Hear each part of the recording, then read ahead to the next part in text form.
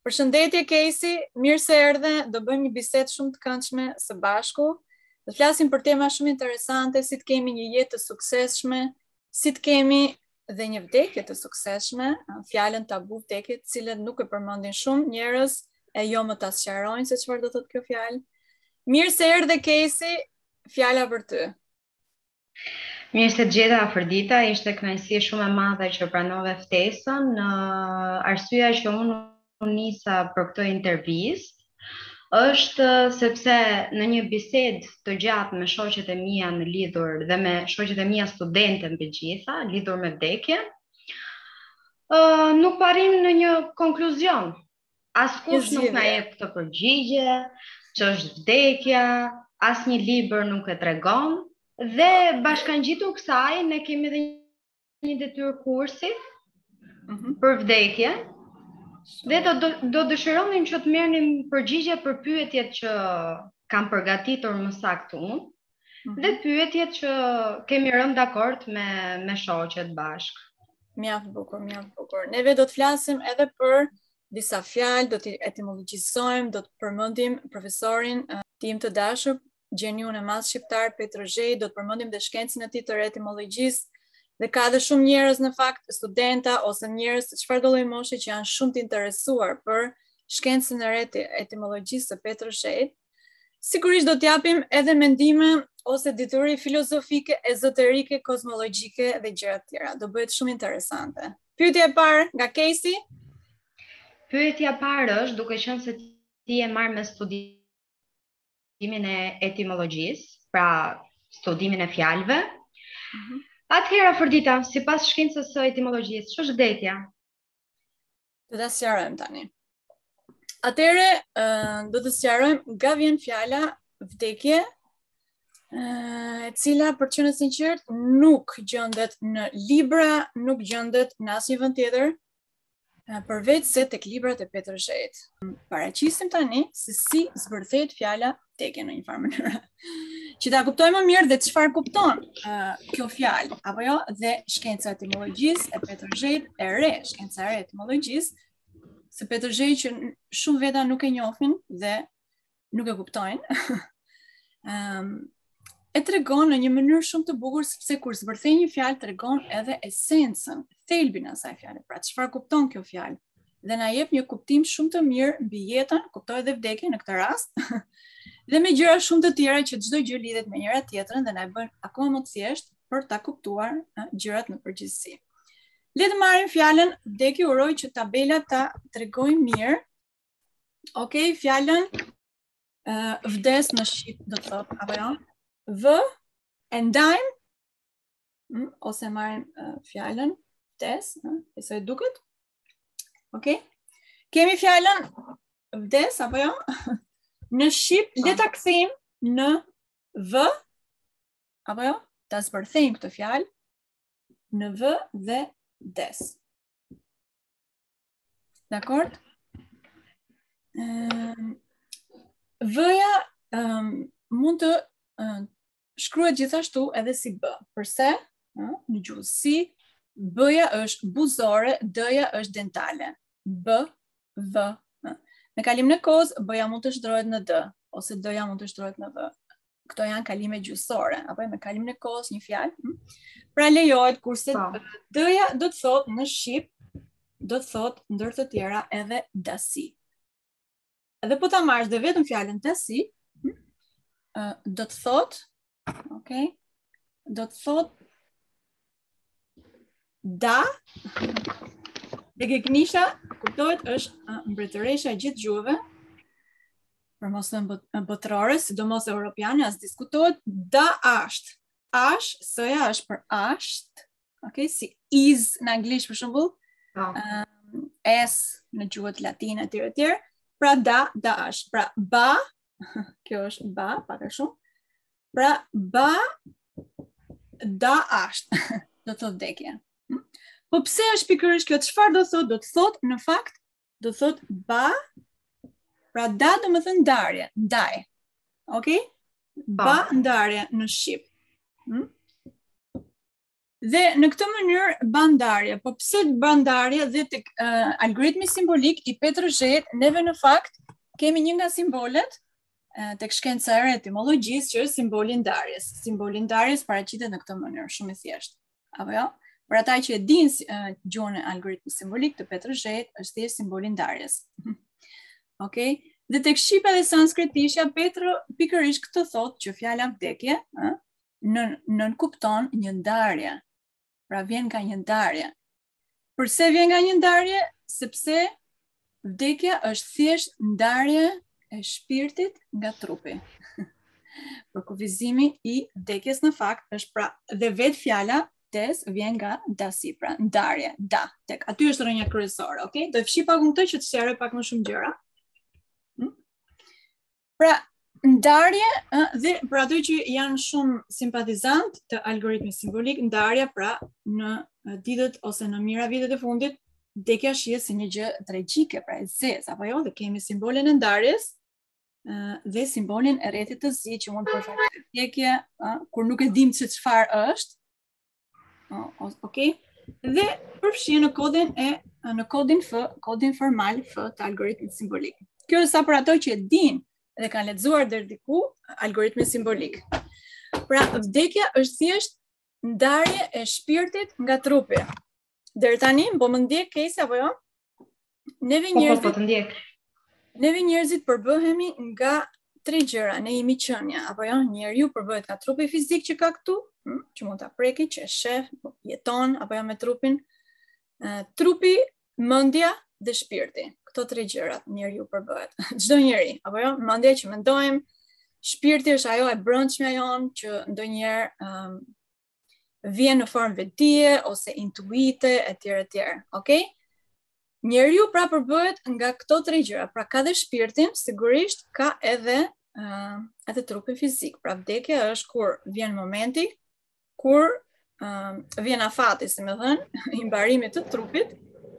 Uh, dhe shpirti që është brenda trupit që është, si me thënë, drita është energjia, sepse në qoftë se shpirti nuk ndodhet brenda në një trup, trupi s'ka fuqi, s'bën dot asgjë. është si një kukull. Hmm? është si një kukull dhe në këtë mënyrë uh, është pra shpirti që jep jetë, si me thënë, uh, trupit. Dhe pra ndaj neve mund të jetojmë dhe shpirti është sigurisht dhuratë e Zotit, është dhe pjesë e Zotit në fakt. Hmm? Uh, por është për momentin Um, për momentin ose në jetën ku jetojmë tani, si me dhe në korat uh, ose në epokën e Kali Jug, Jug që shkruhet që thuhet në diturinë e Vedave, domethënë, uh, ndarja, hm? ndaj, apo jo, ndaj, domethënë, ndarja, në dy, kemi në shqip, hm? për të treguar gjithashtu dhe rolin uh, rolin mesianik që ka gjuha shqipe që do flasim pak edhe për nga aspekti gjuhësor, apo jo pjesë pis e shumë, shumë shembuj të tjerë gjuhësorë që përfshihen në fakt tek um, um, përfshihen tek shkenca e re e etimologjisë së Petro Zhejit, ok?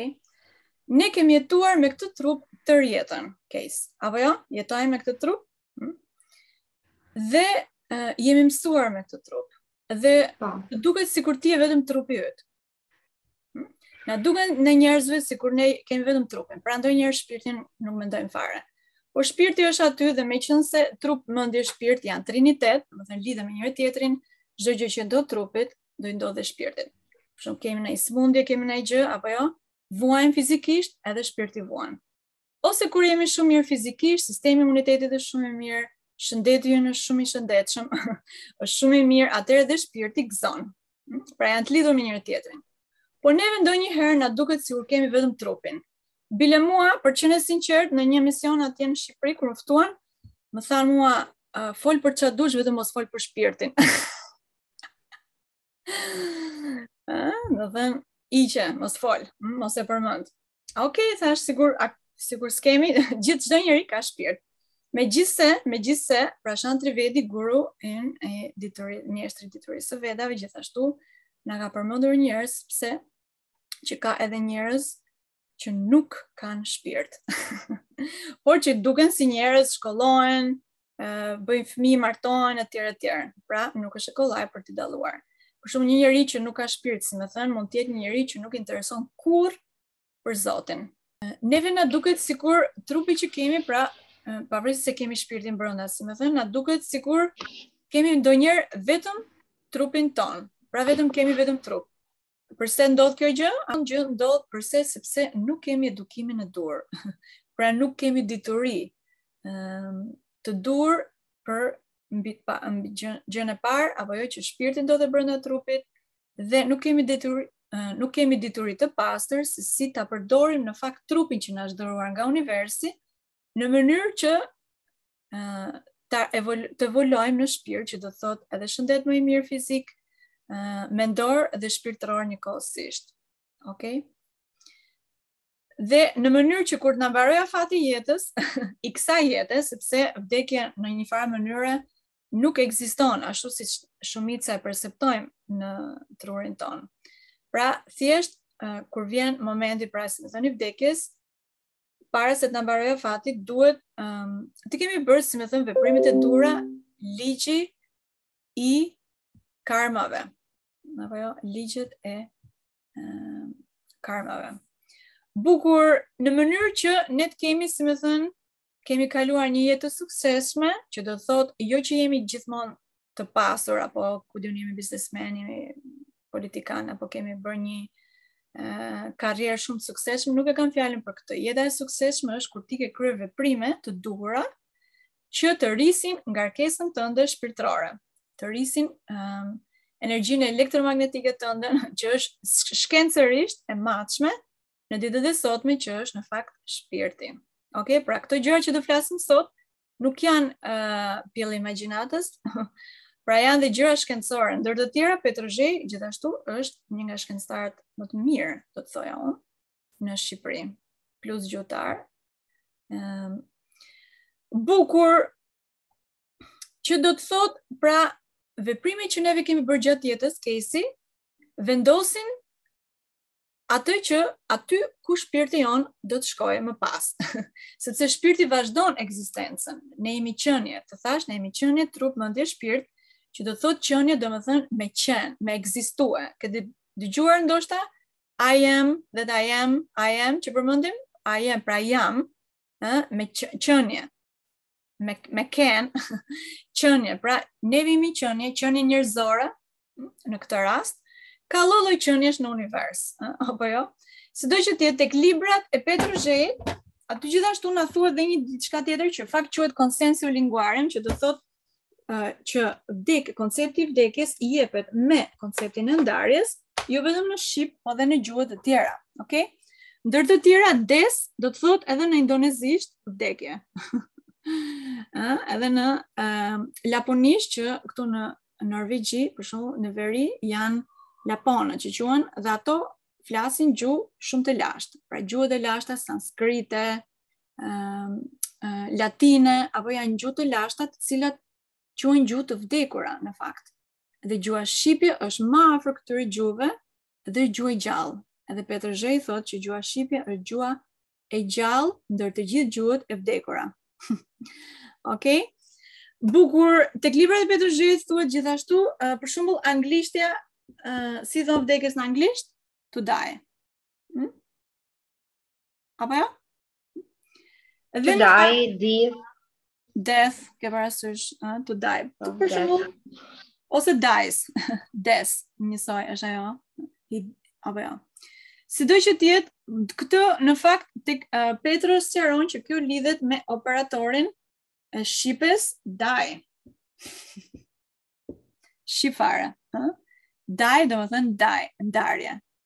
Pra përsëri tek ndarja. Në fakt, kjo dë-ja do të thot da, edhe në sanskritisht, da, do të thot, në sanskritisht, da do të thot ndarje. Pra da, edhe në sanskritisht, dhe në shqip do thot e njëta gjë, sepse shqipja e sanskritishtja janë shumë të lidhura me njëra-tjetrën, edhe Petro Zheji tek shqipja dhe sanskritishtja në fakt ka sqaruar që um, uh, shqipja, pra sanskritishtja, mund të motivohet në fjalët e saj të shumta nga shqipja apo operatorët e lirë. Pra janë janë shumë të ngushta me një dhe sanskritishtja quhet pra si gjuha më e lashtë e botës, mos harrojmë. Hm? Prandaj dhe unë uh, i kam domethënë studiuar dhe mësuar shumë dhe nga Prashant Trivedi që ka diturinë e Vedave. që do të thotë ato kanë gjuhën sanskrite. Prandaj edhe unë i kuptoj dituritë e vedave nga shqipja. Kuptohet duhet di shqip, jo jo të gjithë shqiptarët kuptojnë shqip. Apo jo? Ne flasim shqip, por nuk e dimë se kjo fjalë vjen nga kjo, apo jo? Shqipja është gjuhë shumë shumë e pasur. Shqipja është gjuhë bombë. pra që si lidhet, pra vdes, pra die.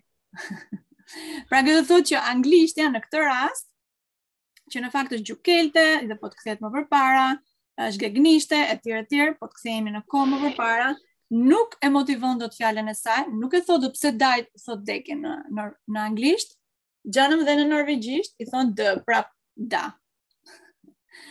Ëh?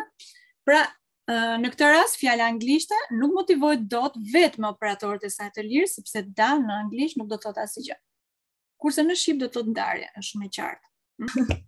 Petro Zheji ka thënë dhe fjalën uh, edhe shkronjën D apo jo? Apo jo? Hmm? Kemi simbolin, kjo është simboli i ndarjes, apo jo? A është simboli ndarjes? Hmm? Um, apo jo? Po ta marrim gjysmën? Ça bëhet? D. Pra, da. Ok? Da. Ndarja. Hmm, pra, si si lidhet me njëra-tjetrën? Edhe në, në shqip neve kemi, për shembull kur vdes dikush, neve themi dha shpirt. A themi? Hmm? Po. Dha shpirt? Apo jo? U nda nga jeta. Da, u nda nga jeta. Dha shpirt. Dha, domethënë, kur ti jep diçka nga ty, ti e ndan me dikë tjetër. pra i jep një pjesë, ja heq vetes dhe ja jep tjetrit, apo jo? Mhm. Mm po. Ose uh, ndërroj jetë. Ndërroj. Apo jo? Dhe në fakt ndërroj jetë është shumë mirë gjithashtu sepse ndrojmë jetë me vërtet, të jepet një jetë tjetër. Apo ja, jo? nuk nuk mbaron se ekzistuari. Prap do të jesh një qenie, vetëm do të jepet një trup tjetër dhe trupi tjetër që do të të jepet në jetën tjetër varet nga veprimet që ti ke bërë në jetën që kishe të fundit, sidomos. Hm? Pra kjo do të thotë që ne krijojmë ardhmen tonë, qoftë e jetës tjetër, qoftë këtu e krijojmë nëpërmjet veprimeve tona. Apo jo? Mhm. Mm bukur, bukur. Në fakt a ekziston një përgjigje, një përgjigje shkencore për këtë? Përgjigje shkencore sigurisht edhe në jetës, fizikën kuantike tregojnë që ka një ekzistencë, vazhdon ekzistenca. Pse? Sepse Uh, unë për shembull uh, kam studiuar shumë NDE-t, në qoftë se ke dëgjuar, NDE do të thotë near death experience, mund ta kërkoni në YouTube. Në fakt shumë vite përpara, sepse isha shumë kurioze në atë periudhë, që do të thotë njerëzit që vdesin për shembull në klinikë ose që janë nuk janë mirë, vdesin dhe shkojnë si më thën, ë uh, ose quhet dhe out of body experience, domethënë thjesht del shpirti si më thën nga trupi yt dhe kthehet prap. Hm, dhe tregon çfarë përjetoi,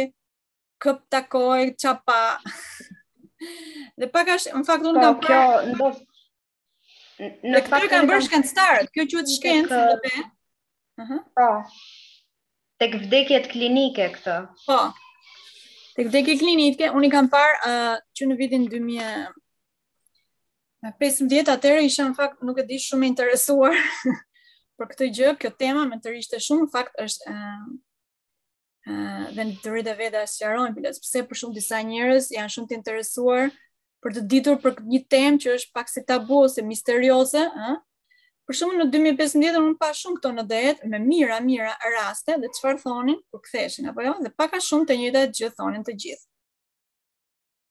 Pra, shkenca vetë, duke marrë, pra statistika plot, plot raste, ëh, pra këto gjëra që po flasim janë gjithashtu shkencore, do të thotë që edhe pas uh, pasi trupi lë shpirtin, pra ndahet, nda, pra që quhet vdekje në gjuhën popullore, në gjuhën në gjithë gjuhët në përgjithësi, uh, vazhdon se ekzistuari, takon qenie të tjera, fillon, a, dhe në fakt do ta sqarojmë në qoftë se ti dëshiron nga aspekti i diturisë së Vedave. edhe aspekti mitologjik, çfarë ndodh uh, pas vdekjes. Mund të vazhdojmë me pyetjen e, e radhës? Patjetër. Po koncepti yt për vdekjen, a e shikon vdekjen si proces apo thjesht ke frikë nga ajo, sepse kjo është një një pyetje që njerëzit ka raste që e shikojnë, ka raste në shumicën e rasteve njerëzit e shikojnë si tabu vdekjen, domethënë kanë shumë frikë nga ajo. Dhe kur i përmend vdekjen, ato tremben. Po. Sigurisht. Në fakt, vdekja është frika më e madhe e njeriut. Njeriu mund të kalojë ku di unë sëmundje, jo po kancer apo ku di këto dhe nuk ka aq shumë frikë. Domethënë i kalon dhimbjet e tmerret e gjërat, po kur bëhet fjalë për vdekje, ato i ke si traumë. Hm? Përse ndodh kjo? Sepse nuk kemi diturinë e duhur. Të thashë, në kohërat um, kam përmendur njëherë, ose disa herë, në fakt që në diturinë e vedave, që në klasë të parë, kalamajtë, kur fillonin shkollën, mësusi, ose mësusja, e cila ishte shumë mendjendritur, kuptohet, pra mësusi që quhet guru, ha? në natyrë përjashta, mësonin, i mësonin atyre që në klasë të parë, si të qendërzonin trupin, në mënyrë që vetëdija e tyre të rritet, automatikisht qendërzonin zërin dhe i mësonin çfarë është jeta, pse ke ardhur në këtë botë, çfarë është kjo botë, dhe si çfarë veprimesh të bësh gjatë jetës, në mënyrë që mos kesh kurrë probleme, mos vuash. mos kesh dhimbje dhe pra të kesh një jetë të suksesshme, domethënë që ti evoluon në shpirt, mëson dituri, ëm ehm, um, shëndeti është gjithmonë i mirë, e ke në kontroll fatin tënd. ë uh, ehm, lidhesh me natyrën, çfarë ushqimesh është mirë të hash, mësonin që në fillim. Ok, në këtë mënyrë kishte një jetë të suksesshme dhe një vdekje të suksesshme. Domethënë që ato kur vdisnin në kohët e arta, ok? Kur vdisnin, si me thënë, mezi prisnin të vdisnin, pse? Sepse do fitonin një trup nga universi shumë më të mirë se ky që kishin, a, që do të thotë në fakt ngjitje drejt parajsës, në gjuhën e feve. Ok? Pra do flasim në gjuhë të ndryshme të feve, të shkencës, të gjitha, ti e di që unë merrem me gjithë këto, dhe në aspektin gjuhësor që i vë vulën të gjithave. Koncepti mbi vdekjen është pra vetëm kjo, ndarja e shpirtit nga trupi nuk është ndonjë gjë tjetër, Qenia jonë përbëhet pra Në fakt, tek Prashant Trivedi, guruja që vjen nga India, na ka treguar tek dituria e vedave një gjë shumë uh, shumë të veçantë që do e ndajmë dhe këtu, apo jo për publikun tonë shqiptar dhe për shoqet e tua studente që janë kaq të interesuara dhe që bëjnë mirë. Kjo do thotë vedia është rritur Apo jo? Qenia jonë, pra përbëhet sigurisht nga trupi, mendja dhe shpirti, por midis tyre në fakt, brenda trupit tonë kemi uh, pesë trupa astralë.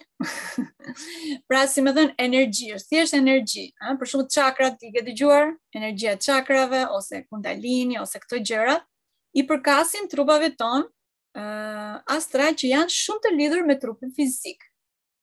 Ok, për shembull, ke një shqetsim, ke diçka një emocion, energjia e, e trupit astral ty ulet. Kur jeti mirë, a, tër aura ose ngjyra, e tërë, tërë, pra varet nga ngjyra që ti bën tek trupi përjashta. Pra, njeriu, si me thënë, uh, universi kur e ka krijuar njeriun, Zoti, hyjnia apo jo? I ka dhënë të gjithë këto trupat. Edhe trupi i jashtëm është si kukullat ruse. Ke parë kukullat ruse? kukullat e ruse janë uh, apo ka është një kukull edhe mbi të është një kukull më e madhe, kukull më e madhe.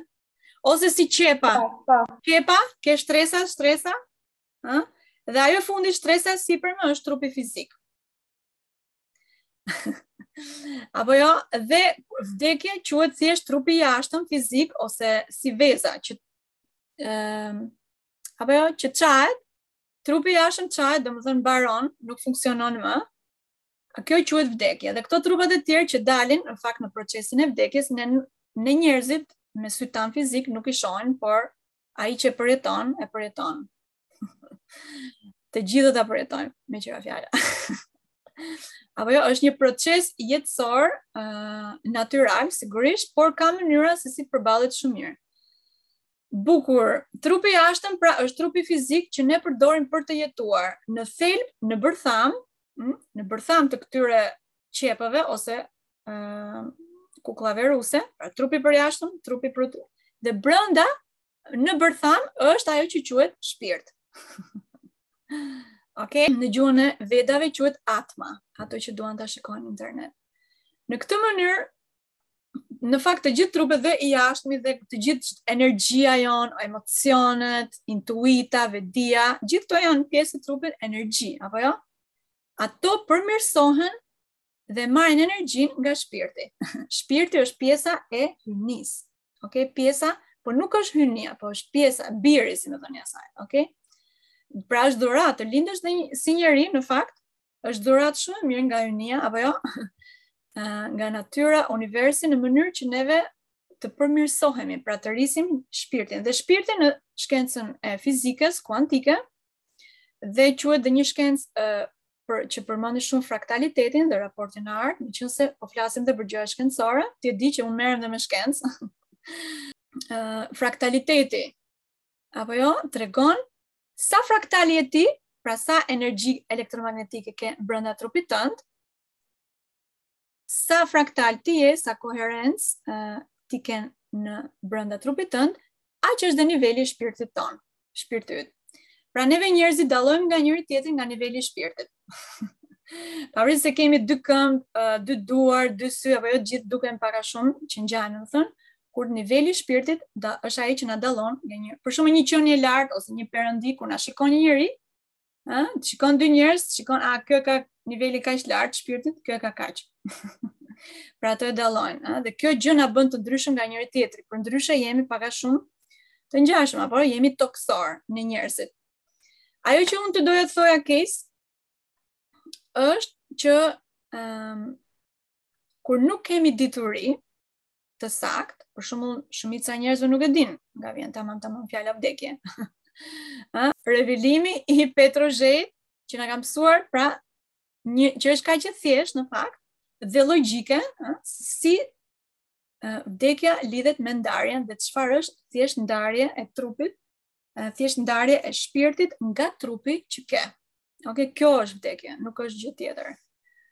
Dhe kur nuk kemi dituri, mbi këto gjëra reale dhe fakte, hm? atëhere vdekja për njeriun është frika më e madhe që ekziston. Sepse ti nuk e di. Mund ta themi më më shkurt. Si? Mund ta themi më shkurt që është një proces ndarje, ndarje e shpirtit me me trupin. Po kjo është. Kjo është përkufizimi i saktë dhe shkencor i fjalës vdekje. Ëm. Ehm, dhe kur nuk e dim uh, kur nuk kemi dituri, se çfarë është vdekja dhe çfarë ndodh pas vdekjes, që do e flasim pak bashkë, qoftë se ke qejf ti, do të, kur nuk kemi dituri çfarë na pret, atëhere vdekja është frika më e madhe që ekziston për njeriun. Sepse ti nuk e di ç'të pret, nuk e di ç'vjen, uh, ça do bësh, ku do shkosh, uh? edhe në këtë mënyrë, kur nuk ke dituri, përjetohet si trauma më e madhe për shumicën qoftë atë që për për njeriu që vdes ose për familjarët ose miqtë apo ku di unë, për arsye të mungesës së diturisë. Ëm të lashtët në kohë të arta i dinin këto gjëra dhe shqip, shqiptarët e ditë, shqiptarët në kohën e vedave ose shqiptarët para 5000 viteve nuk kanë qenë nëpër shpella e kështu, kanë qenë të ndritur, ë, gjuhën e tyre, pra ato që kanë krijuar shumë përpara sigurisht, gjuhën hynore shqipe a, ishin mendjen dritur, prandaj dhe dituria, prandaj dhe shqipja e ka brenda këto dituri të lashta, të vërteta brenda në gjuhë. Ok, dhe kjo e bën gjuhën shqipe më hyjnore sesa gjuhët e tjera. Për shembull anglishtja nuk e sqaron dot daj. Duhet shkojë te një gjuhë që është më e lashtë se ajo, për të sqaruar çfarë domethënë daj, që është thjesht shqipja daj. Hm? Në shqip kemi daj, dy, dam, ndash e ke da në 100 mënyra, dhe në shumë mënyra, domethënë që është një rrënjë shumë e vjetër dhe shumë e përdorur në shqip dhe gjuha është një gjuhë e gjallë, siç të thashë, ndër gjuhët e tjera, ë sanskrite, gjuhët latine që nuk fliten fare, sepse gjuha shqipe është bombë. Ajo që doja të thoja unë ty para se të kalojmë tek pyetja tjetër, ë për ata që e njohin algoritmin simbolik të Petro Zhejit. Pra, ata të artët ose uh, ata që zotëronin diturinë e artë, uh, të urtët shqiptarë, që i dinin këto gjëra dhe dinin dinin shumë shumë gjëra sepse ishin më të lidhur me Zotin, me hyjninë ose me ligjet hyjnore ose me rregullat e natyrës dhe të hyjnisë, i dinin, hm? edhe ligjet karmike i dinin, dhe në diturinë e algoritmit simbolik, kjo dituri quhet kodi esencial E. Ke dëgjuar? Kodi E? Hm? Kodi esencial E, kur, kur ti nuk ke dituri, Um, ke frikë, kur ke dituri, dituria është fuqi, apo jo, kur ke dituri, nuk ke frikë, jo nga vdekja, po as, as nga asgjë, apo jo. Um, dhe Prashant Trivedi thotë në fakt edhe një gjë interesante, thotë që edhe fjala udhëtim, Hmm? Pra thotë që vdek, ai thotë që vdekja është thjesht një udhëtim. Në fakt neve njerëzit kur shkojmë në një qytet tjetër ose kështu, ë uh, që na duket domethënë që udhëtojmë apo jo. Ëm hmm? uh, çfarë bëjmë neve? Neve përgatisim valixhet, bagazhin. Sidomos ne femrat. E ke plot mbushur. apo jo? dhe në këtë mënyrë, pra, uh, çdo njeri që udhëton, përpara se të udhëtojë, përgatitet. Bagazhin, përgatitet dhe shpirtërisht, nuk do iki nesër në punë, do të bëj këtë, do, do marr këtë tren, përgatitet, do marr këto rroba, apo jo, bën një përgatitje.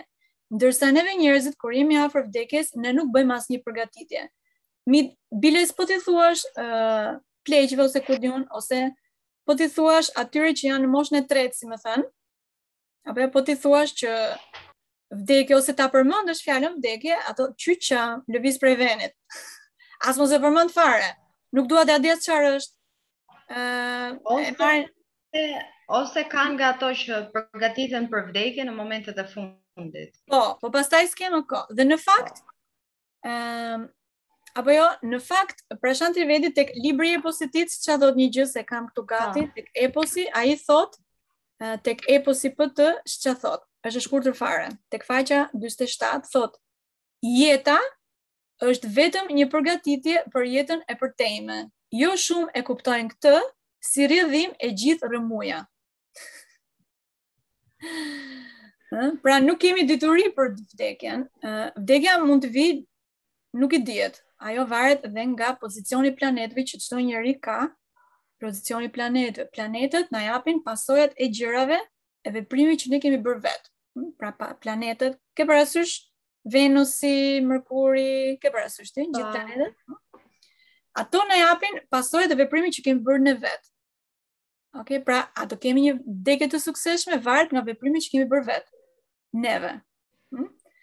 Pra, në qoftë se ne kemi dituri, uh, atëherë vdekja në fakt bëhet një gjë shumë e mirë, sepse do shkosh për më mirë, do shkosh në fakt drejt lumturisë së përjetshme, bie fjala, ose drejt dhimbjes më të madhe ose do ta sqarojmë pak çfarë ndodh pas vdekjes më vonë. Por ëm ehm, pra është turp të flasësh për fjalën vdekje. Që të kesh një vdekje të suksesshme, duhet të kesh një jetë të suksesshme. Pra të rrisësh nivelin e shpirtit duke bërë në fakt apo jo lavdërimin përkuljen ndaj më të lartit hyjnor, duke u lidhur më shumë me elementet e natyrës, duke ngrënë ushqimet e duhura, duke qendërzuar zërin. Janë gjithë këto rregullat, të cilat ne njerëzit uh, nuk i dinë, Por kuptohet studentët e Lotus Ocean dhe të gjithë që e kanë marrë vesh janë përmirësuar sepse janë rregulla hyjnore, që do thotë po bën praktik të kodit esencial e të algoritmit simbolik. Pra jemi në një jemi në një epokë tani um, ku gjërat pra mësimet e Petro Zhejit uh, vijnë në praktik tani, ë? Kurse për të qenë sinqert, Kejsi, ti je gocë e re, dhe e kupton shumë mirë këtë gjë.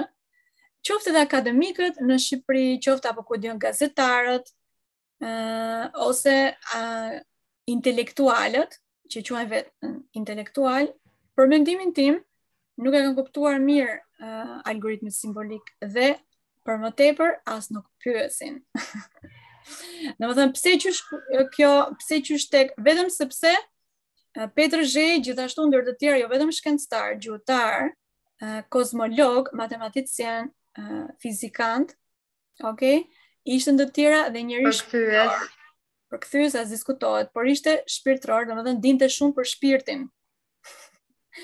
Po, po s'dite për shpirt, trupi, mëndja, shpirti, po s'dite për të treja, nuk ke dituri të plotë, edhe nuk ke për të patur asnjëherë, apo jo? Pra, duhet të kesh, ë, dituria holistike në kohë të arta ishte një. Qoftë muzikë, qoftë matematikë, qoftë ë uh, për shpirtin, për për çdo gjë është një e tëra, kupton? Prandaj kur ke të tërë, si me thënë, kupton më mirë gjërat. Hm? Bukur, që të kemi pra një vdekje të suksesshme, duhet të kemi një jetë të suksesshme, domethënë ti ke kryer veprime të duhura mbi trupin, Ke kryer çdo veprim që ne bëjmë në këtë jetë, e bëjmë me trupin tonë fizik. Edhe kur nuhat, pra pesë shqisat. Hm? Pesë uh, shqisat në mënyrë të për që të mësosh si balancohet mendja, uh, si e qëndërzon trupin, si lidhesh me natyrën, ha ushqimet e duhura apo jo? Sepse, siç të thashë, brënda trupit tonë, gjithashtu kemi dhe trupa astralë që nuk i shofim, por i ndjejmë. Hm? Për shembull kur je e gëzuar ti, kur je gëzuar ose ke një emocion shumë të fortë apo jo, emocioni ajo gjëja nuk është tek trupi përjashta, është tek trupi astral, si me thënë, apo jo? Ose ë trupi astral që Shqipëria as që bëhet fjalë për të folur një herë, jo më për të sqaruar cilat janë, kurse Vedat i japin me emra për çfarë është kjo, për çfarë është ajo, i kanë me detaje dhe janë shkencore dhe janë të vërteta. Kur vdesim, atë që merr me vete është sa shumë dituri të vërtetë ke mbi jetën. Sa shumë je lidhur me natyrën, a je përulur natyrës, a ke qëndërzuar trupin, këto quhen pozitive, pikë pozitive. Do të thotë po fillon një jetë të suksesshme drejt një vdekje të suksesshme pas shumë shumë viteve, apo jo? Pra, si thashë, është si një udhëtim. Duhet përgatitemi, duhet përgatitemi, përgatitemi në kuptimin sa më shumë të lidhesh me natyrën, në domethënë përgatitja është shumë e thjeshtë dhe uh, mënyra se si do hash ushqim, pra këto janë gjëra jetësore, janë gjëra shumë të thjeshta në fakt, por neve nuk na del asnjëherë as 5 minuta kohë t'i bëjmë. Do kemi shumë punë, se kemi familjen, të bësh këtë, të bësh këtë, plus nuk ka as edukim nëpër shkolla, edukimi nëpër shkolla nuk është mbi shpirtin ose mbi um, mbi shkenca në fakt të fundit fare. Apo jo, nuk për trupat astralë nuk flet njeri, për qëndërzimin e zërit nuk flet njeri, pse sepse është dituri e fshehur këto mijëra vite të fundit. Prandaj edhe njeriu, ë, nuk ka evoluar në shpirt, as stërgjyshërit tanë, ë, nuk, domethënë në genet tona nuk i kemi shumë të evoluara. Prandaj neve që jetojmë, Me genet që kemi, me trupin që ketë, duhet të bëjmë veprimet e duhura për të rritur kapacitetin e shpirtit. Se është e mundur të bëhet kjo gjë, për ato që dëshirojmë. Ok? Pra, um, kjo është. Vazhdojmë te pyetja e radhës Kejsi. Në fakt Afërdita e preke dhe pak më parë për mm -hmm. meditimet e Lotus Ocean që aktualisht merresh dhe me to. Oh. Por ka njerëz që nuk e dinë. sepse sigurisht që pas kësaj interviste, kjo intervist do, do bëhet share tek të gjithë miqtë e mi, dhe ka njerëz që po, po futën për herë të parë. Duke qenë se ti me është në komeditime. Mm -hmm. Unë kisha pyetjen, Çfarë, si mund ta përballojmë ne ë vdekjen e të afërmve apo familjarëve tanë, sepse gjithëve na ka ndodhur që kemi humbur një person të zemrës që e kemi dashur shumë. Pikërisht. Si mund të përballohet drama që ne, ne përjetojmë pas vdekjes së tyre? Pikërisht, pikërisht. Shumë pyetje e mirë pak. Drama do të ekzistojë gjithmonë kur nuk e di të vërtetën. Ok, dhimbjet vuajtjet. Injoranca ose padituria është vuajtje. Dituria të jep forcë, të jep fuqi, dritë. Nëse jeton jetën, um, nëse dikush e jeton jetën në bazë të rregullave hyjnore, siç të thashë, Niveli i shpirtit do të rritet do të rritet absolutisht po. Dhe jeta bëhet e suksesshme, pra rritet niveli i shpirtit, ti po evolon duke bërë gjërat e duhura, atëherë vdekja do të jetë në fakt me qejf. Në kohët e arta kur vdisnin, vinin për shembull që lindnin në tokë dhe e rrisnin trupin e tyre, qendërzonin trupin, bënin gjërat e duhura, e rrisnin kapacitetin e shpirtit, koherencën e tyre, fraktalitetin, e rrisnin Dhe në këtë mënyrë, kur ato vdisnin, në fakt nuk shkonin as në brenda shpi, kështu shkonin në natyrë. Sepse trupi është natyrë dhe lidhesh me natyrën, është bëhet gjë, gjë shumë e natyrshme, ok? Dhe trupi i tyre, shpirti i tyre, kur dilte, në fakt, uh, i jepej pra i dhurohej një trup shumë më i mirë, biles mund të shkonin dhe në parajsë. Ka ekziston dhe parajsa, Ekziston dhe ferri. Edhe e përjeton dhe në tokë, të dyja, si me thënë. Ndonjëherë kemi lumturi, që mund të zgjasi pak, mund të kemi dhe vuajtje, hm, sëmundje, gjëra të tjera, apo jo? Vetë unë, personalisht, uh, si edhe studentët e Lotus Ocean, e kanë kaluar pak më lehtë, shumë më lehtë, okay? Vdekjen e të afërmve të tyre. Përse? sepse kanë ndjekur këshillat e Lotus Ocean, duhet përsëritur mantrat. Kur ti përsërit mantra, çfarëdo lloj gjëje që ndodhi përjashta, ti fiton një shtresë mbrojtëse, pra aura jote bëhet më e fuqishme, inteligjenca jote, idetë e mira janë pozitive, mendjen e kemë të balancuar dhe kalon shumë, shumë lehtë. Për të qenë e sinqertë, këtë gjë e kam vërtetuar vetë, apo jo, duke përsëritur mantrat, uh, parimet e pastra në shqip, ajo të jep forcë dhe kalohet shumë më kollaj. Është e vetmja mënyrë për të përballuar çdo problem që kemi në tokë. pra me trup të qendërzuar, pse sepse ti përqendrohesh tek vetja dhe e kupton që dhe kuptohet sigurisht dhe dituri mbi vdekje, është thjesht një qenie që pavarësisht se është familjari jot, do lindi prap në një jetë tjetër dhe do krijojë një familje tjetër, bie rasti. Pra, çdo njeri është një qenie, nuk është përherë, gjyshi nuk do jetë përherë gjysh. Po të jetë gjysh, ke parasysh po të jetë shumë plak ose ku di unë sëmurë, duke vuajtur, të jetë ashtu përherë vetëm se është gjyshi jot, pra duhet t'i japim liri. pra duhet të kuptojmë mm, që është një qenie që mm, do vazhdojë, vazhdohet dhe këto janë punët sigurisht të Zotit apo jo? Kështu që ë uh, kalohet më kollaj kur ke dituri dhe kur ke qendërzim të trupit. Edhe kur dëgjon dhe muzikë të ë uh, që rrit vibracionet, sigurisht muzikë Lotus Ocean jua korrespond jua këshilloj. Për shembull ka njerëz që dëgjojnë muzikë ë uh, syret ose muzikë muslimane ose krishtere, ku di unë. Edhe muzika, vibracionet, varet kush e ka krijuar sigurisht, unë këshilloj muzikën Lotus Ocean, është shumë efektive, sepse largon energjinë e keqe. Ok, çështja është që të argjosh, të largosh energjinë e keqe, dhe largohet me zërin, muz, zërin, që ti krijon vetë, në radhë të parë, ajo është më e fuqishme, pra mantrat, Ok? Mantrat që kemi mësuar te emisioni Lotus Ocean, s'po i marrim këtu, kjo është përgjigja në fakt, është edhe është me praktikë, është e bërë, jo vetëm nga mua, por edhe nga të tjerë. Hmm? Përsëritja e mantrave nga qendra e zërit është shumë shumë fuqiplote. Atëherë Afërdita, çfarë përgjigje keni ju në lidhje me vdekjen? Si ndikon vdekja në psikologjinë e fëmijës? Mhm. Mm Pra si e përjetojnë dhe fëmijët? Po. Eh, vdekjen, konceptin e vdekjes e kuptojnë, po patjetër do flas. Fakt kjo është një pyetje shumë e mirë. ë eh, e cila nuk eh, nuk nuk e gjejmë në një asnjë intervistë ose nuk e ka sqaruar dikush. Në fakt Prashant Trivedi ka bërë disa video vetëm për këtë temë dhe kanë qenë shumë dituridhënëse për mua. Në shoqërinë tonë të tanishme kur një familjar ndërron jetë e zëmë një stërgjysh, Vdes, edhe stërnipi është aty, ça bëjnë familjarët, përpiqen që ai stërnipi mos ta shohi fare. Ose dhe po e pa, thonë, po flen gjumë, nuk ka problem, nuk është asnjë gjë. Në mënyrë që të fshehin vdekjen. Ok, pra që procesi që ka ndodhur, pra t'ia fshehin, pra mos të tregojnë vërtetën, apo jo? Kjo është njësoj, sikur të thuash, mos u përballo kurrë me faktet. sepse është një fakt, edhe vdekja është një fakt, e cila është diçka që ndodh në këtë botë. Hm? Pra është një e vërtetë e jetës. Apo jo? Në fakt nuk i bëjmë ndonjë nder të madh, se fëmija do e kuptojë sido që të jetë, këtë gjë, për shembull kur të rritet moshën 18 vjeç, ose diçka, kur fillojë, uh, do ta zbulojë që vdekja ekziston në këtë botë. dhe është diçka reale, apo jo?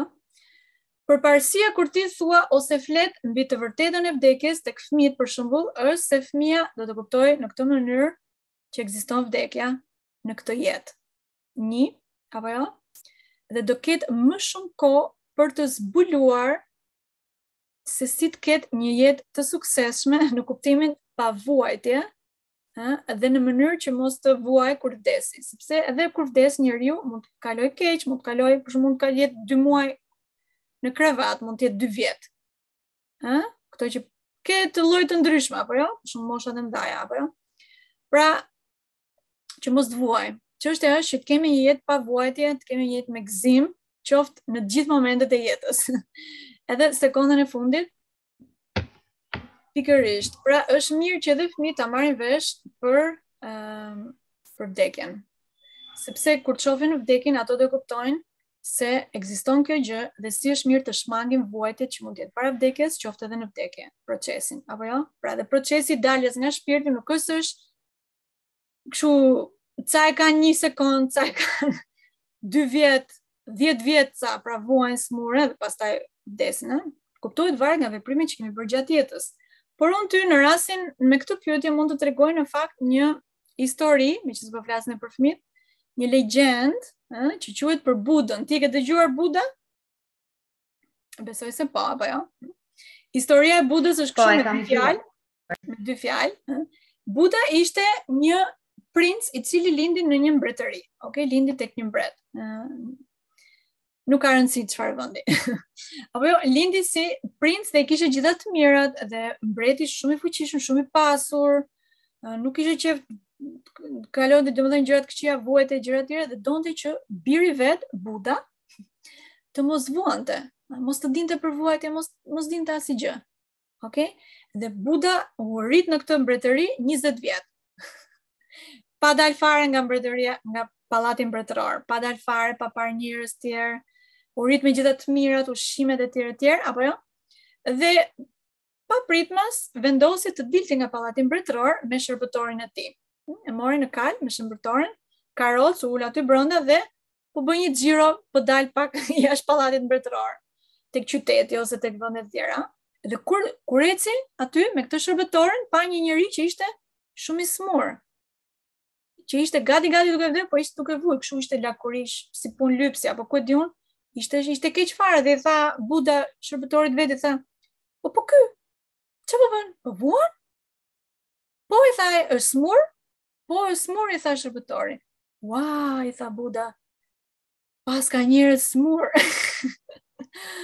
I tha, si paska njerëz, dhe pra që mund të vuash, domethënë Po, i tha, a mund të ndodhi mu dhe mua kjo, o ti shërbëtori, tha? Po, i tha shërbëtori, kjo mund të ndodhi të gjithve. Hm? Ua, tha Buda, eci edhe pak, pa një njeri që ishte gati duke dhënë shpirt, ishte duke vdek. Ok?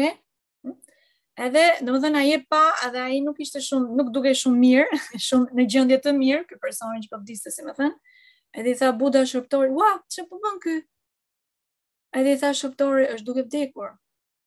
Ua, i tha Buda, vdekur? A mund të ndodhi dhe mua kjo në të ardhmen? tha bu, a, i tha shërbëtori, kjo i ndodh që të gjithve, me siguri edhe ty, edhe mu, që të gjithve. Edhe tha Buda, qyqja mi nonë, mund të ndodhi kjo dhe mua, e. Jo, edhe iku Buda, u nevrikos pak që nuk e dinte, domethënë, jetën tamam, që paska dhe vdekje, paska smundje, paska gjëra të këqija në këtë botë. u mërzit shumë nuk e zinte gjumi natën, plot uh, ditë etj etj apo jo edhe vendosi që të dali në pyll. u largua nga familja vet. Hm? Sipas legjendës dhe shkoi në fakt në pyll me me vite të tëra, bëri në fakt qëndërzimin, bëri lavdërimin e natyrës Zotit qenieve më të larta, hm? kishte dituri apo jo, sigurisht se si të lutej më të lartit dhe u bë i ndritur, quhet Buda mendjendritur, apo jo me këtë aurën në kokë, ë? Do thot mendjendriçuar, dit drit, ë? Dhe aty u bë mendjendriçuar, domethënë e rriti nivelin e shpirtit.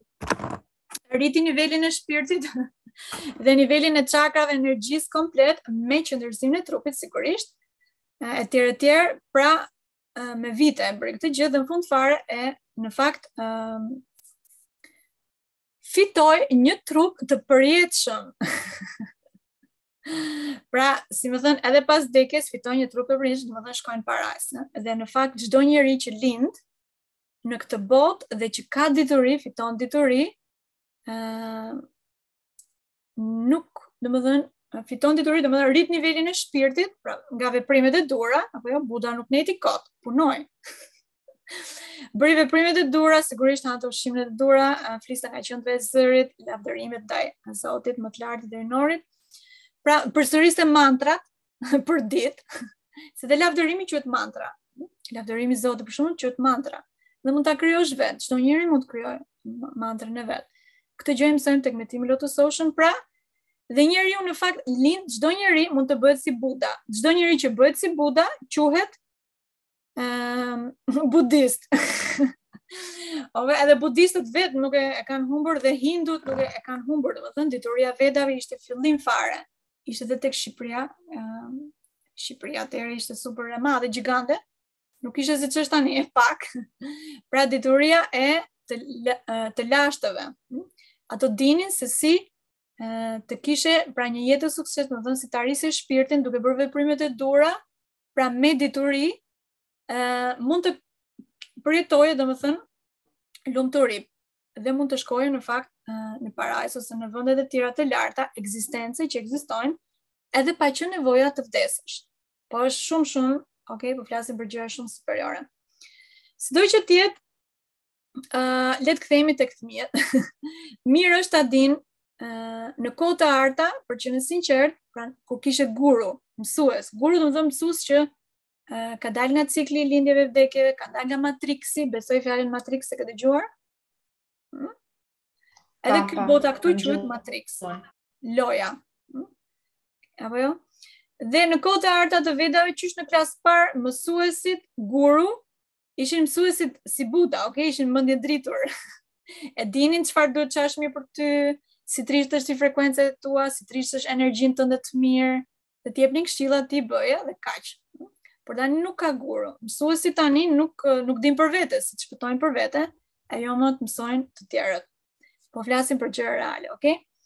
Pra, ato, si me thënë, i mësonin uh, që në klasë parë, pra, çfarë është kjo jeta, çfarë është kjo bota, ku është toka, pse është aty, uh, si të kesh pra një jetë të suksesshme, si mos t'kesh kurrë probleme, uh, si të përballesh dhe me çdo gjë që të, që të del në, në jetë, si të përballesh mirë që mos të vuash, mos t'kesh ti vuajtje, hm? nëpërmjet veprimeve të tua. dhe në këtë mënyrë i mësonin pra si të dalësh nga burgu matriksor, gjithashtu i mësonin kalamajve.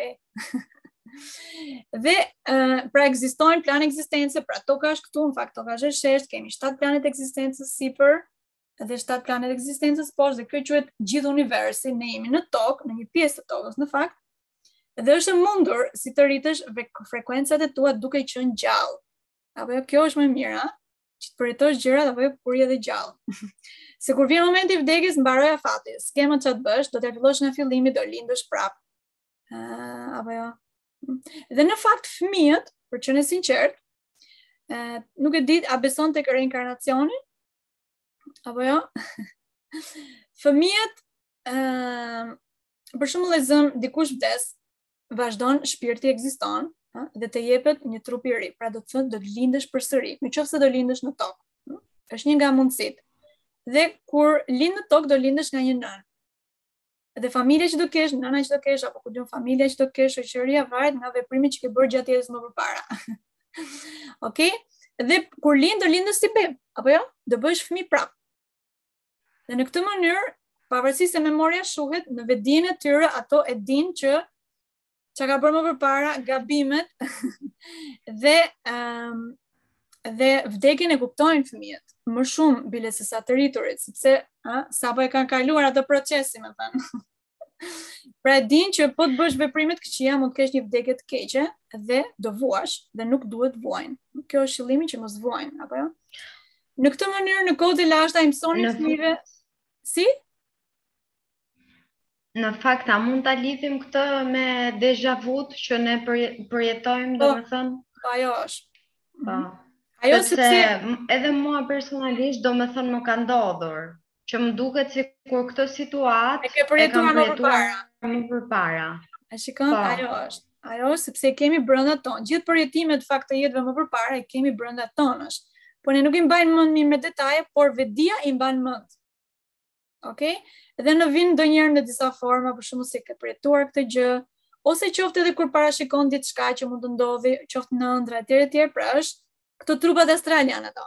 Vetëdija jote. Po. Okay? Energjia jote, energjia. Hm?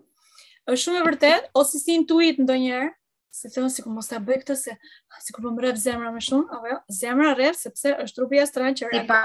I jep shenjë trupit po. fizik, ha, parandjenjë pikërisht. Dhe kjo këtë kjo është dituria e vërtetë në fakt, Sepse po të jemi ne po të dimë dituri tamam, bëjmë veprimet e duhura, atëherë edhe parashikimet ose gjërat që uh, do të përjetojmë të ardhmen tonë e krijojmë shumë të mirë që do të thotë jo vuajtje, jo tortura, jo këto gjëra që mund të përjetojnë tokave, pra anashkalojmë ato.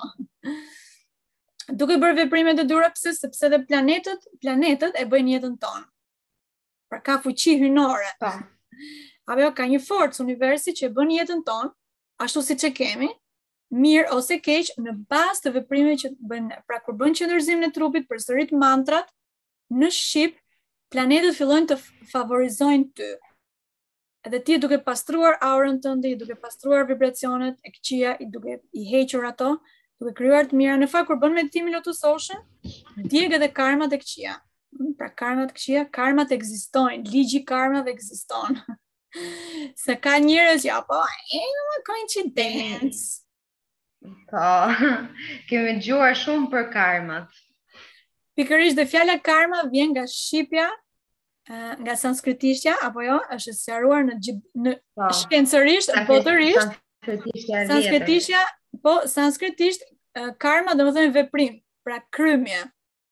Ok? Po.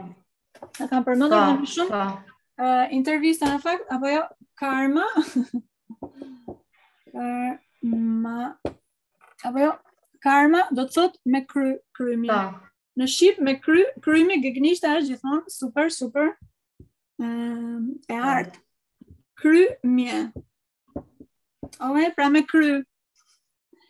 Veprimi që ti kryen sot, me kry, Hmm?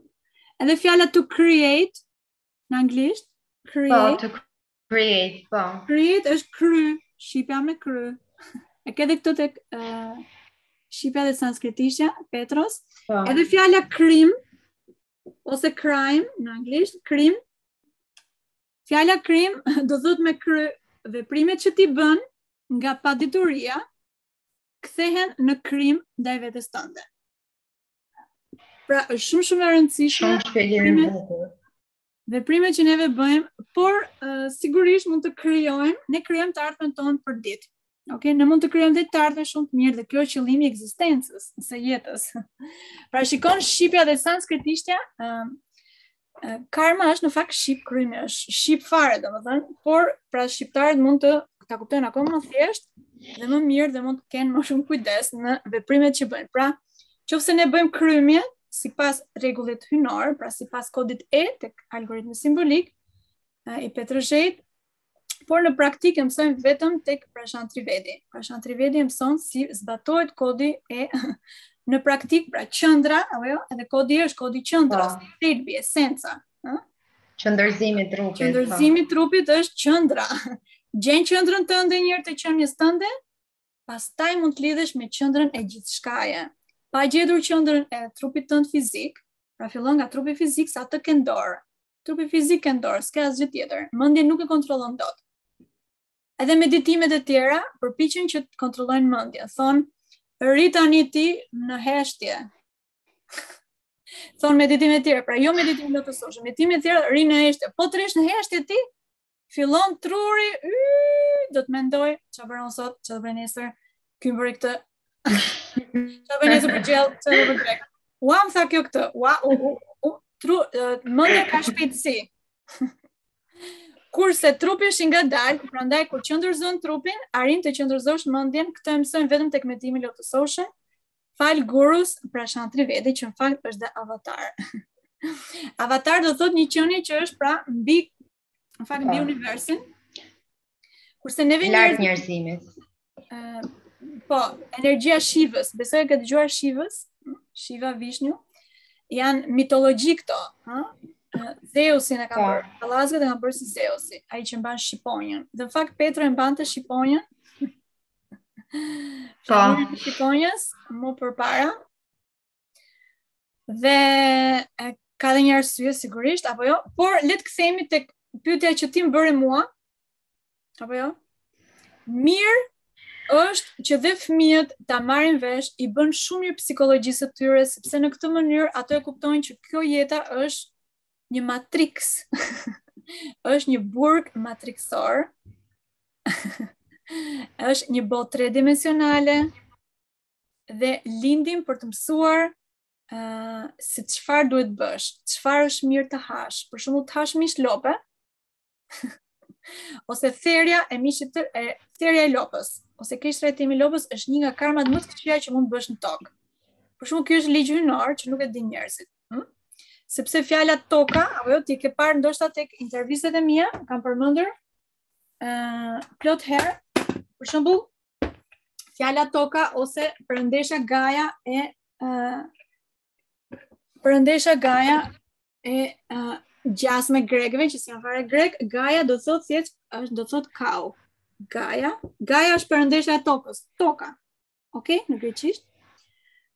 Uh, është kau, simbolikisht është kau. Pse? Sepse kau, lopa, përfaqëson tokën. uh, është simbolikisht e njëjta gjë, është quhet fraktalitet i tokës, uh, kau, ose lopa, ose për shembull në Indi respektojnë uh, lopën. Edhe në veri, unë e di, njoh disa familje, uh, që tregojnë që stërgjyshërit e tyre në Mirditë, për shembull. në disa Mirditë. Po. Kur vjen një lopë në oborrin e tyre, në disa vende jo të gjitha.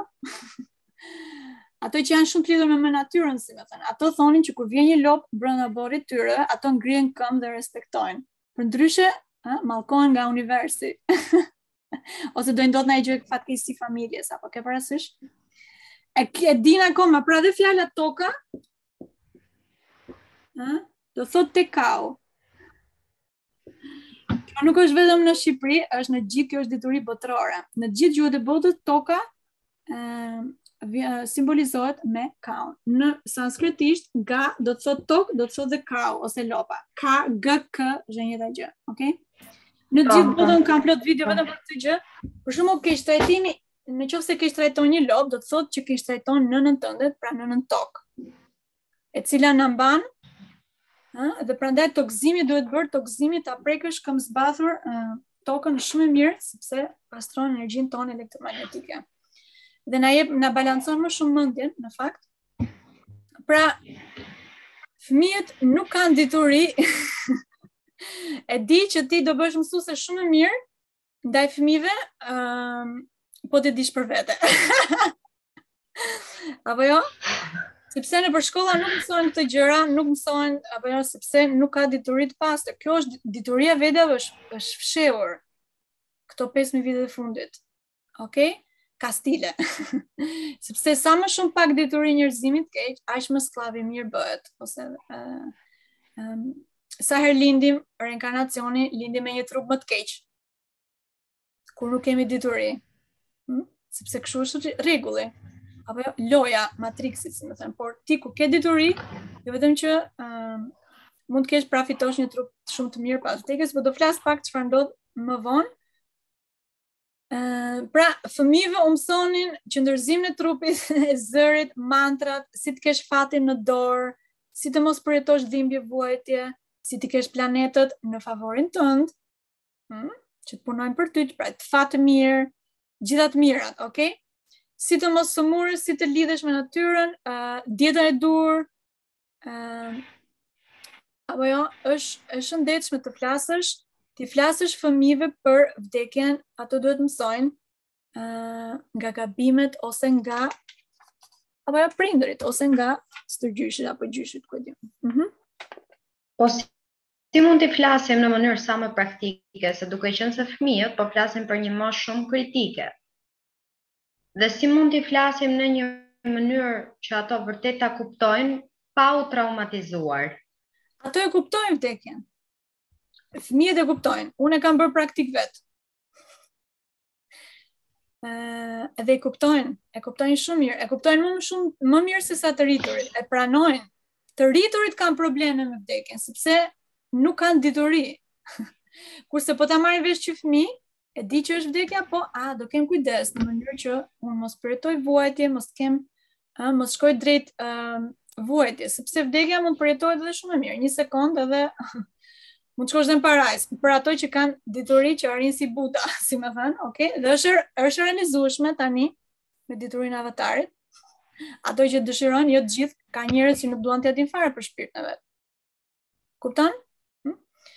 Sido që të jetë, uh, nuk e di, a më pyete për a ka libra? Për... Jo, pyetja ime është çfarë mendimi keni për librat për fëmijë që trajtojnë vdekjen? Unë s'kam parë shumë libra që trajtojnë vdekjen për fëmijët, do mund të ketë, mund të ketë shumë pak. Uh, gjë e mirë është të, të tregohet e vërteta. Fëmijët, Në fakt ka. Po shumë mirë që ka, uh, ta marrin vesh që ekziston, është një diçka që ekziston dhe ë uh, dhe njeriu që dhe njeriu që vdes nuk është se zhduket përherë. Okej, okay? vazhdon të ekzistuar një jetë tjetër. Duhet të dinë që në këtë botë kshu është kjo. pra të pranojnë realitetin. Në qoftë sa më shumë realitetin fëmijët pranojnë, aq më mirë është, nuk kanë dhimbje. Plus fëmijët i harrojnë shumë gjërat shpejt, kurse të rriturit kanë probleme. Pse? Sepse nuk e kanë balancuar mendjen.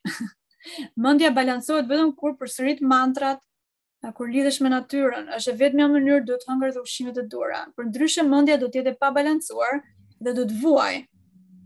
A kupton? Puna është mos vuajnë. Unë i këshilloj t'i lexojnë dhe t'ia tregojnë prindrit, ë uh, kjo është jeta këtu. Realiteti është i tillë.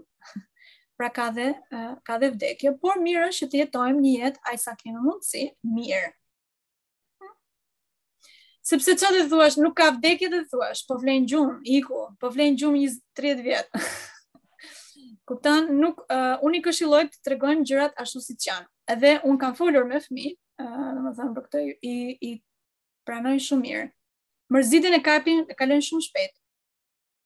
Mhm. Mm Plus që fëmijët të thashë kanë pak më të freskët konceptin e vdekjes, sepse nuk ka shumë vite që ishin uh, kanë kaluar, si me thënë. Para se të lindnin bebet, çdokush ka kaluar vdekjen më përpara, apo jo? Por meqenëse sa herë lindim i harrojmë këto gjëra dhe nuk jemi të përgatitur, apo jo, dhe krijohet dramë. Kur ke dituri, nuk nuk është dramë. Mhm. Mm Në fakt kam edhe pyetjen e fundit. Po? Kjo pyetje është më shumë pyetje misterioze që njerëzit e kanë mister dhe besoj se çdokush e ka pyetur veten e tij se çfarë ndodh pas vdekjes. Pikërisht, dhe kjo është pyetje shumë shumë. Keni ju një përgjigje shkencore për këtë pyetje? Po kemi dhe përgjigje shkencore, kemi dhe përgjigje gjuhësore. kemi dhe përgjigje të çfarë lloji të duash, okay? Së pari, uh, ka tre gjëra që i ndodh një qenie ose një njeriu pasi vdes. Tre mundësi, tre probabilitete. Okej, okay? edhe për shantri vjedhën e ka sqaruar shumë mirë. Mundësia e parë, e cila është shumë e rrallë, e cila nuk është shumë shumë, nuk ka ndodhur shumë, ë uh, të paktën ë uh, epokën ku jemi, epokën e errësirës, apo jo, kurse në epokën e dritës, pothuajse gjithë e përjetonin, ishin gjithë gëzuar kur vinte vdekja, ua, do i këndë shpëtoj, do shkojnë parajs, parajs domethënë, do kesh një trup, kur shkon në parajs domethënë, Pra, toka këtu, kemi shtatë plane të ekzistencës, kemi një plan ekzistence sipër tokës, kemi mbi të quhet në diturin e vedave parajs, ose svarg, quhet në diturin e tyre. Aty ku jetojnë perënditë. Pra me pak fjalë ti bëhesh perëndi. dhe njeriu prandaj lind në tokë për t'u bërë, për t'u rritur, ha? po lind njëqind herë se merr vesh nuk do dituri, nuk uh, duhet dituri, oke? Okay? Pa dituri nuk arrin edhe Buda, kuptohet, ishte i gjithëditur, pra i dituri që u bë i ndriçuar. Kur mundësia e parë, ok, probabiliteti i parë, kur një njeri vdes, hm, kur kryen një jetë që ka kryer, pra një qenie ose një njeri që ka kryer një jetë, sipas vedave, ka qendërzuar trupin lidhës, është lidhur me natyrën, është lidhur më shumë me zotin. um, dhe më të lartin, apo jo, Uh, pra ka punuar me veten, ka bërë meditimin, meditimin të saktë, se sot ke shumë mashtrime. Ëh? Le të themi ka bërë meditimin Lotus Ocean, ka kryer LPSH-n, që është ligji hyjnor, LPSH quhet lavdërim përkulje shërbim ndaj më të lartit, hyjnorit. Pra e ka kryer në praktikë. Atëherë kjo qenie kur e ka kryer këtë gjithë jetën, ok, ai del nga cikli i lindjeve dhe i vdekjeve, del nga cikli i vuajtjeve dhe i dhimbjeve, nuk lind më në tokë. Por, do të jepet një trup nga universi uh, që do të përjetojë gëzim, lumturi, për mijëra vite, nuk për po bëhet fjalë për njëqind. Ha? Pra pa kohë. Koncepti kohë është ndryshe në tokë dhe koncepti kohë është ndryshe në planet e tjera të ekzistencës. Quhet pra lindja e dytë sipas uh, Prashant Trivedit, kjo lindja, po të lindësh në parajsë. Domethënë të vdesësh këtu, të kesh një jetë shumë të mirë këtu, hm? duke punuar, ha? Nuk do të thotë që je i pasur ose kështu gjërash. Jo, jo, jo. Që ke pasur një karrierë të shkëlqyeshme, ke qenë famshëm, i fare, fare. Jo, jo, jo. Ke punuar me veten, hm, ke gjetur qendrën tënde, ke balancuar mendjen, ke krijuar aurën mirë etj etj, apo jo? Atëre kjo quhet ato lindin për herë të dytë, që do të thotë, ë, kur ne lindim nga nëna në tokën fizike, që po bisedojmë ne tek radio lindja dhe në fakt, kur ne lindim nga nëna fizike, ne dalim nga mitra, apo jo? dalim nga mitra. Pra dalje është da. Ë, kurse kur uh, le të themi probabiliteti i parë kur njeriu vdes, ë, që ka bërë një jetë shumë të mirë, të suksesshme, ka punuar me veten, okay? Atëherë ai um, hyn tek hyjnia. Pra nuk del nga mitra kur lind, atje, parajsë, por hyn. Edhe në fakt këtë e thotë shumë e sqaron shumë bukur Petro Zheji, Gjidani. Si sa bukur ai ka një aforizëm, ë, që thotë hyu ai hyu është ai që hyu. Hyu domethënë hyjni. Hyjni zot, okay, në shqip shqip e kemi hy hyjni. Hm? Rrënja është tek hy. Ok. Pse quhet hyjni? Ë, pra hy. Kjo do të thotë që kur hyn në botën e parajsës, do kur afrohesh tek Zoti, si më thën, hm? se ne njerëzit në tokë nuk jemi afër Zotit, jemi larg Zotit, prandaj kemi lindur këtu. Apo jo, ë, jemi da, prandaj edhe kur lindim në tokë, dalje, dal, dalim nga mitra, da, dalje. Hm? Kurse kur hyn në parajsë, quhet lindje e dytë, Pra hyn tek hyjnia dhe hyjnia bëhet babi, mami. Ëm burri, gruaja, fëmija, bëhet gjithçka. Pafundësisht. Pra sa bukur e ka shqipja hy? Ë? Hyu, pra zoti.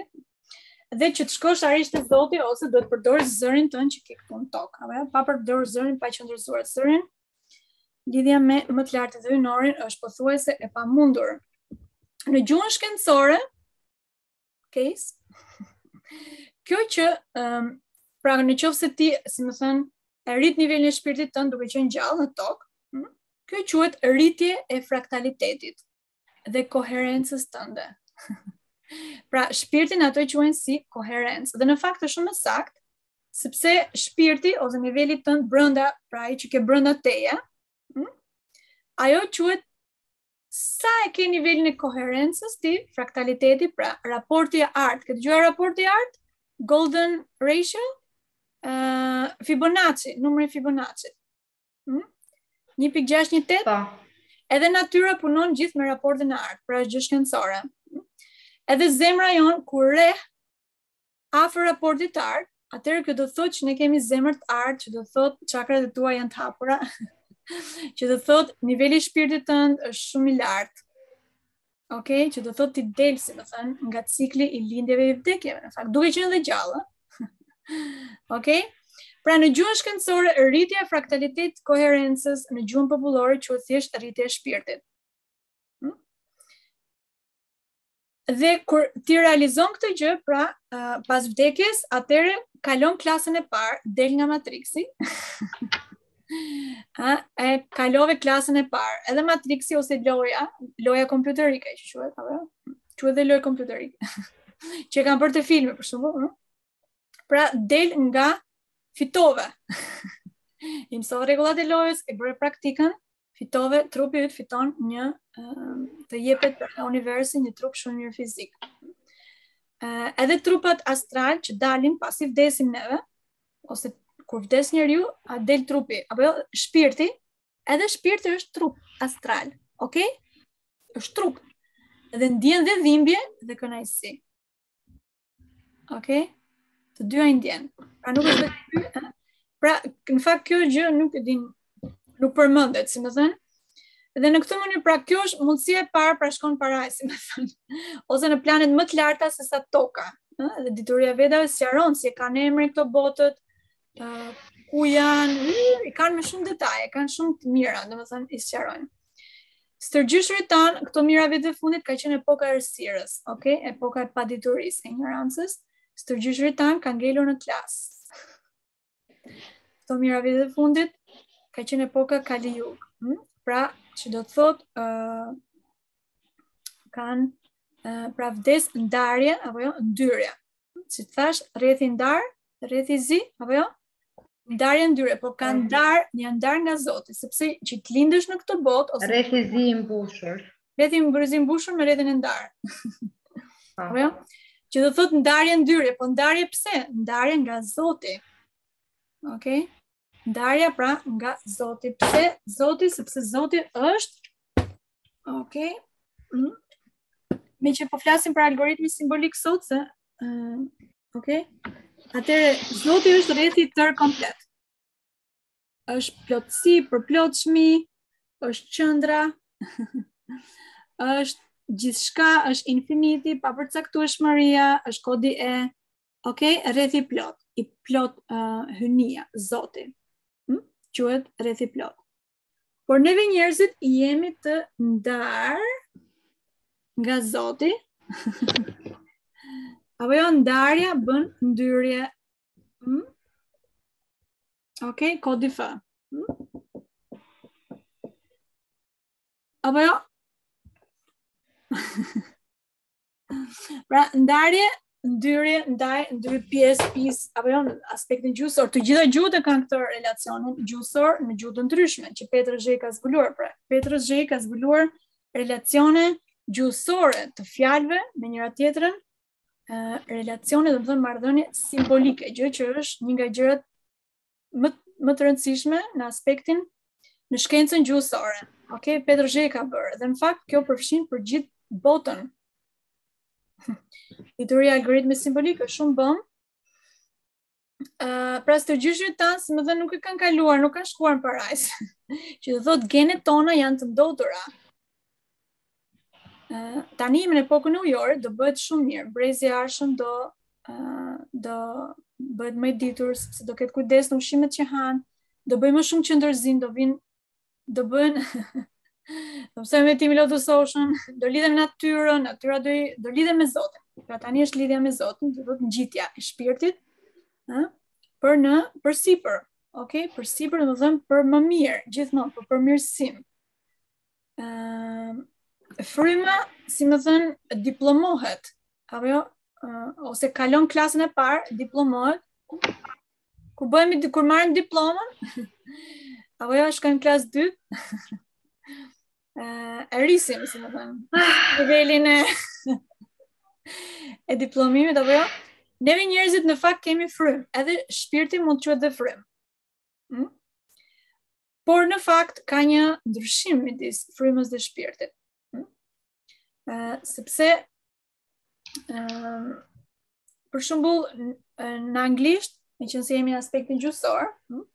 në anglisht si thon ëh shpirtit case. Ëh. Hm? Urdhra, nuk të dëgjova mirë. Si thon shpirtit në anglisht? Shpirt, the soul, apo jo? Spirit? The, the soul? Spirit, soul? Ah, spirit, bravo, spirit është ndryshe, soul është ndryshe. Neve njërzit në fakt kemi spirit, pra shpirti, shpirti, hm? që lidhet me spiralen e artë, po s'po futem shumë aty, por soul, pra spirit dhe soul, domethënë frymë, dhe shpirt. Hm? Në fakt, që të fitosh një shpirt ose që të fitosh një soul, koherenca jote e nivelit të shpirtit duhet të rritet, e, sh, e frymës duhet të rritet, rritet, derisa ti bëhesh sol që do thot bëhesh si dielli, il sole. Sole. Sole, uh, dielli. Ok? Pra do thot mm -hmm. që uh, në qoftë se shpirti yt, domethënë bëhet në nivelin e diellit, koherenca, a fraktaliteti rritet aq shumë, saqë dhe mund ta bësh dhe gjallë këtë, nuk ke nevojë me vdek, po duhet shumë shumë dituri, apo jo? Duhet të krijosh karma të mira, duhet të pastrosh karmat e këqia, dhe arrihet nëpërmjet qendërzimit, pra me një guru, me një drejtues, që e di për vete. Në qoftë se ti e bën shpirtin si dielli, themi edhe Mund të themi edhe në shqip shpirt, shpirt uh, shpi, nga vet fjala shpi. Po. Që domethënë i bie ë um, shtëpia e... është shtëpia e trupit. Hm? Shpirti është shpia tamam, shpia pse sepse dhe kur ndërrojmë jetë, Shpirti vazhdon e ke aty gjithmonë, është shpia jote. Shpirti yt. Mhm. Mm dhe arsye mm -hmm. pse është shpirti dhe shpina, shpirt, shpina, kurrizi. Po. Është sepse pa. Po. energjia e shpirtit shpina kur e ke drejt, prandaj qendërzimi është shumë i rëndësishëm sepse shpina, kurrizi, përmban energjitë e tua. Aty ku shpirti mund të rritet, çakrat apo jo, janë gjithmonë A pra ka një arsye, pra edhe kjo shqip, shpirt, shpin, ka shumë rëndësi. Pra, edhe sot jemi e shtunë sot dita e Saturnit, mirë është të veshim, e ke parasysh për shembull ditën e Saturnit, blu ose të zezë, ose diçka të erët, apo jo? Nga aspekti planetar, uh, Pra, dhe në fakt Saturni meqë e përmendëm që është përgjegjës për shpinën, pra prandaj duhet të mbajmë kurrizin drejt, duhet të mbajmë qëndrimin e trupit është shumë rëndësishëm, sepse aty energjia, nëse jemi shtrembër, energjia nuk ka ku të shkojë, nuk ka ku të rritet. Pra shpina ose kurrizi është pjesa shumë shumë e rëndësishme e njeriut. Hm? E trupit njerëzor. Dhe në fakt edhe Saturni meqë e përmendëm quhet si biri i diellit. Ka dhe një legjendë dhe një uh, uh, një histori shumë bukur në fakt për këtë, po s'kemi kohë tani ta sqarojmë. Pra, ë uh, që të shpirti të bëhet si dielli, pra edhe Saturni quhet uh, si roja e këtij ë uh, e botës. Saturni për shembull quhet ai që të jep pasojat e karmave që ke bërë më përpara. Për shembull, ëh, nga aspekti. Le të themi tek shpirti, tek dielli. Pra, në qoftë se shpirti jot fiton uh, soul, pra bëhet me shpirt tamam, ëh, hm, atëherë ti del nga matrixi. Edhe fjala ëh uh, solution Lexohet. Solution zgjidhja e gjithçkaje është që të fitosh një shpirt. I zgjedhuri, i zgjidhuri, thotë Petro Zheji, sa bukur që e thotë. Hm? Pra, faraonët, faraonët kishin ndërtuar varrin e tyre në përgjithësi, faraonët ke parasysh që nuk uh, varri e tyre etj etj, ëh. Ato pa, pa. piramidat i kanë ndërtuar poshtë uh, yjësisë së Orion ose Orionit. Rripi Orionit? Hm? Përse? Mhm. Sepse Orioni ë uh, është është në fakt yjësia Ori Orion or Orion në anglisht është porta ku shpirti del nga matriksi. Ato e dinin këto dhe faraonët donin të bëheshin si dielli, prandaj perëndia Ar um, Amon Ra e tjera e tjera, po s'kuptojmë shumë, ato pra donin të dilin nga Matrix, çdo njeri që lind, qoftë faraon, qoftë kushdo, ka si qëllim që të dali nga Matrixi. Kjo të dali nga cikli i vuajtjeve, i lindjeve dhe i vdekjeve, ok? Pra, gjëja e parë, um, gjëja e parë, apo jo, që mund të ndodhi një shpirti pas vdekjes është që të shkojë në parajsë, që gjëja më e mirë është është zgjidhja më e mirë, super. Po që të fitosh nga shpirti në soul, pra të fitosh një shpirt është këtu, ok, fryma, që quhet në fjalorin e, për shembull, të krishterëve, quhet fryma. Fryma e shenjtë, e ke dëgjuar? Hm? I babi, i biri, pa. Po. Ati, biri dhe fryma e shenjtë? Uh, pra, fryma, në qoftë se evoluon, rritet, mm, me trupin që ka, duke përdorë gjërat, duke kryer veprime të tëra, rritet, rritet, rritet, ë? Atëherë kjo frymë merr bëhet në nivelin e koherencës së diellit, atëherë fiton një shpirt, sol, bëhet sol, bëhet solar. Fjala që thotë ai manifestohet, dëshira bëhet. E ke parasysh? Hm? Atëherë ai del nga matriksi gjithë gjërat e mira të këtu ëndërronin faraonët. Okej? Okay? Ehm, um, Pra, këto janë dituri shumë të lashta këto që po themi. Nuk janë, ë. Pra, mundësia e parë është, mundësia e parë është që të dalësh nga matriksi. Okej, okay? dhe gjëja më e mirë, gjëja më që ëndërrojnë që të gjithë. Prandaj dhe lindim në tokë për ta realizuar këtë gjë. Okej, okay? pra dalin nga uh, matriksi. Toka është këtu dhe kemi qiellin. Sipër kemi qiellin sipër. Ë, në diturinë e lashtë quhet si kapak, si me thënë, askush nuk del. nga matriksi. A, ato që kanë shkuar në hënë edhe këto janë gënjeshtra, NASA, këto gjërat. Hm? Ok, mundësia e parë është që shpirti del, shpirti del nga yjesia Orion. Ok, nga kjo, në qoftë se ka kryer veprime të sakta në tokë. Hm? Çdokush mund të kalojë. Ha? Ta jep biletën, Saturni? Hajde, kalo. Ha? Përndryshe nuk ta jep. Të kthen prap që të lindësh prap këtu. Derisa t'i mësosh rregullat, oke? Okay? Prandaj dhe rilindim. Mundësia e parë është që të shkojmë pra shpirti të ngrihet, të fitojë një fryma të bëhet pra të fitojë një shpirt, si me thënë të a, diplomohet. Oke? Okay? E para. Pas vdekjes. E dyta është, mundësia e dytë është kur nuk e ke përgatitur trupin, nuk ke mësuar lavdërimin përkuljen, shërbimin ndaj më të lartit, nderimin ndaj natyrës, nuk je lidhur aspak me natyrë, nuk përpiqesh për të ditur, nuk apo jo, nuk të intereson shumë, ë? Ka njerëz që nuk kanë shumë interes për vetëdijen ose inteligjencën ose vetëdija është e lidhur me inteligjencën. Atëherë këto njerëz universi pas vdekjes Mm? I kthen përsëri që të lindin prap në tokë, si bebe do lindin prap. dhe ku lind, në cilën familje, në cilin shtet, varet nga veprimi që ka bërë më përpara. Le të marrim shembullin më të keq. Kemi një njeri që ku di unë ka vrarë shumë veta, mm, etj etj, ë, ose ka bërë gjynafa, etj etj. ë Pra çdo gjë, çdo veprim që ne bëjmë në tokë regjistrohet. Edhe këto në death, që të thashë near death experience, kur ato shkonin, si me thënë, vdisnin, hm, a, aty ka dit, takonin disa qenie dhe që i tregonin për gjithë jetën që ke bërë. Kështu për tre sekonda, që i vi gjithë jetën. që ke bërë vetë. Së nuk thua dot, jo po s'e bëra këtë dot, jo po, ai më tha mu kështu, ama unë bëra këtë e tjera e tjera, ke si me video. pra kjo të thotë që çdo gjë që bëjmë neve regjistrohet. Pra ne do të bëjmë veprimet, do të kemi kujdes. Çdo veprim ka një pasojë, është fakt një nga mantrat. Sido që të jetë, uh, mundësia e dytë pra është që të lindesh përsëri në tokë. Okej? Lind si bebe nga një nënë tjetër, përsëri fillon nga e para, memoria shuhet, nuk mban mend çka ke lindur, çka ke bërë më përpara. Pavarësisht se ndjesitë i ke, Mm, vetëdija është, por e harron. Ndonjëherë mund të shohim dhe në ëndrra, e tjera, e tjera. Mm. Uh, dhe në këtë mënyrë, mm, dhe mm, të jepet një mënyrë që të mësosh, në përgjithësi që të mësosh lavdërimin. ose përuljen ndaj një qenie më të lartë. Në fakt, për shembull, në qoftë se neve njerëzit uh, vjen ti ose një një njeri takon një qenie të lartë, Qenie e lartë, domethënë që ka fituar një soul, ë uh, ka fuqi solare, fjala e tij, ai që thotë atë, fjalën që ai thotë manifestohet direkt. Kjo thotë ai ka fuqi solare. Pra qenie hyjnore, qenie që është shumë më afër Zotit se sa ty. Hm?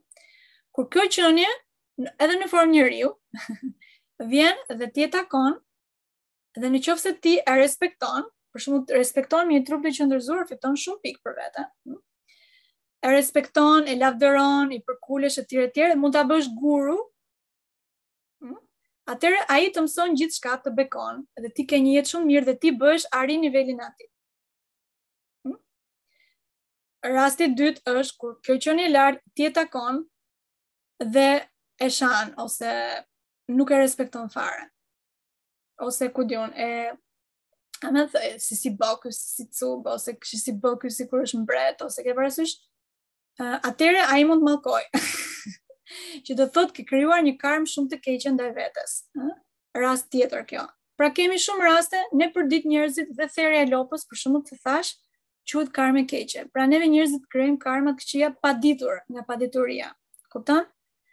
dhe pastaj mund të paguajmë karmat në në të gjitha jetët që kemi, si me thënë derisa t'i shlyejmë, ha, t'i pastrojmë, po duhet shumë, uh, apo jo, bukur rasti i tretë, pra e para është kur shkon në parajsë, ke dalë, nga cikli i lindjeve dhe vdekjeve, apo jo, e dyta është që kthehesh prapë në tokë, pra je prapë brënda në matriks. Hmm? Uh, pra je prapë i burgosur, jemi burgaxhi. në matriksin uh, e sistemit ku është tani, sistemi tani që në fakt është duke ndryshuar, do vin do vi koha shumë mirë. Mundësia e tretë, si mendon ti kush është? Mundësia e tretë është mundësi është pak uh, jo shumë jo shumë pozitive. Kur ke kryer veprime plotësisht kundra rregullave hyjnore, ë uh, nuk të intereson për dalje nga Matrixi, kjo bota duket shumë e mirë.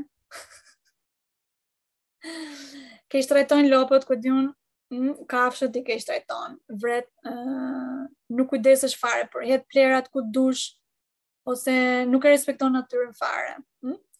Ose ë uh, injoron ku di unë, dielli nuk të intereson fare. ose pra natyrën ke parasysh ti? Kemi lloj-lloj njerëz, njerëzish.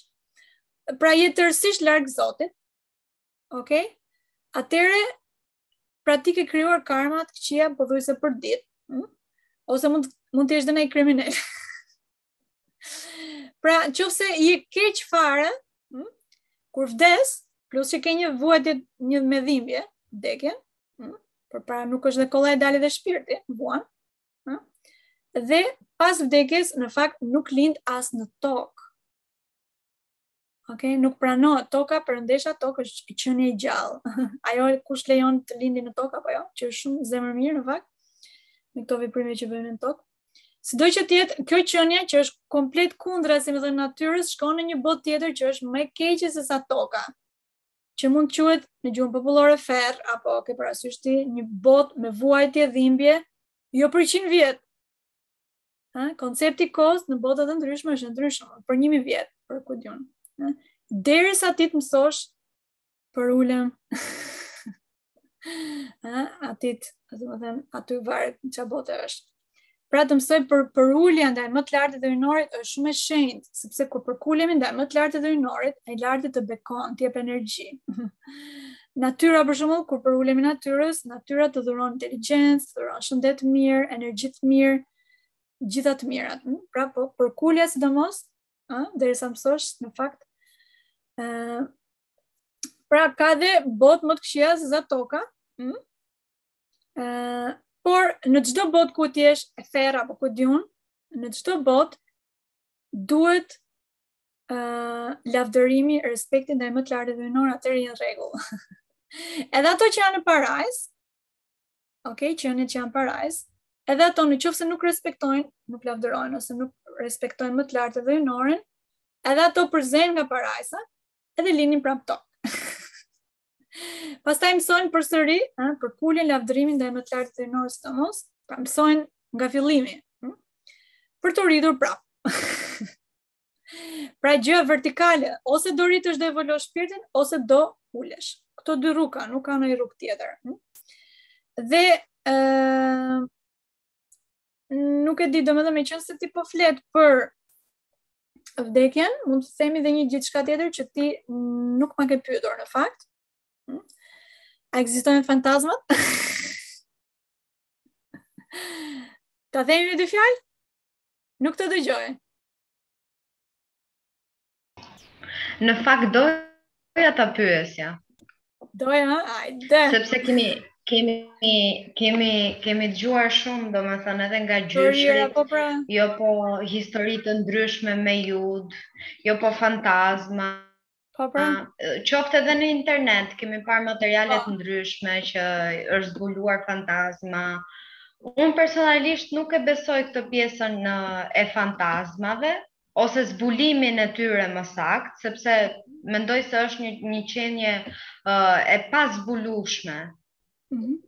Dhe nuk mund të arri ta kapi një telekamerë ose ta vëzhgojë një sy një një njeriu. Mm. Në fakt është e ke shumë mirë. Në fakt fantazmat nuk ekzistojnë. Ëm uh, njerëzit kur një një një qenie ose një njeri vdes, uh, vinë disa qenie, okay, që punojnë për këtë punë. merren me këtë punë hyjnore, okay? Janë qenie shumë të evoluara që punojnë për perëndinë e vdekjes, domethënë, që ka dhe një emër në diturinë e vedave, quhet Yama, hm? uh, ose Xhibraili në fe të ndryshme, është bërë me emra të ndryshëm. Hm? Sido që të jetë qeniet që punojnë për ato, marrin shpirtin Okej? Okay? Se shpirti s'di ku të shkojë.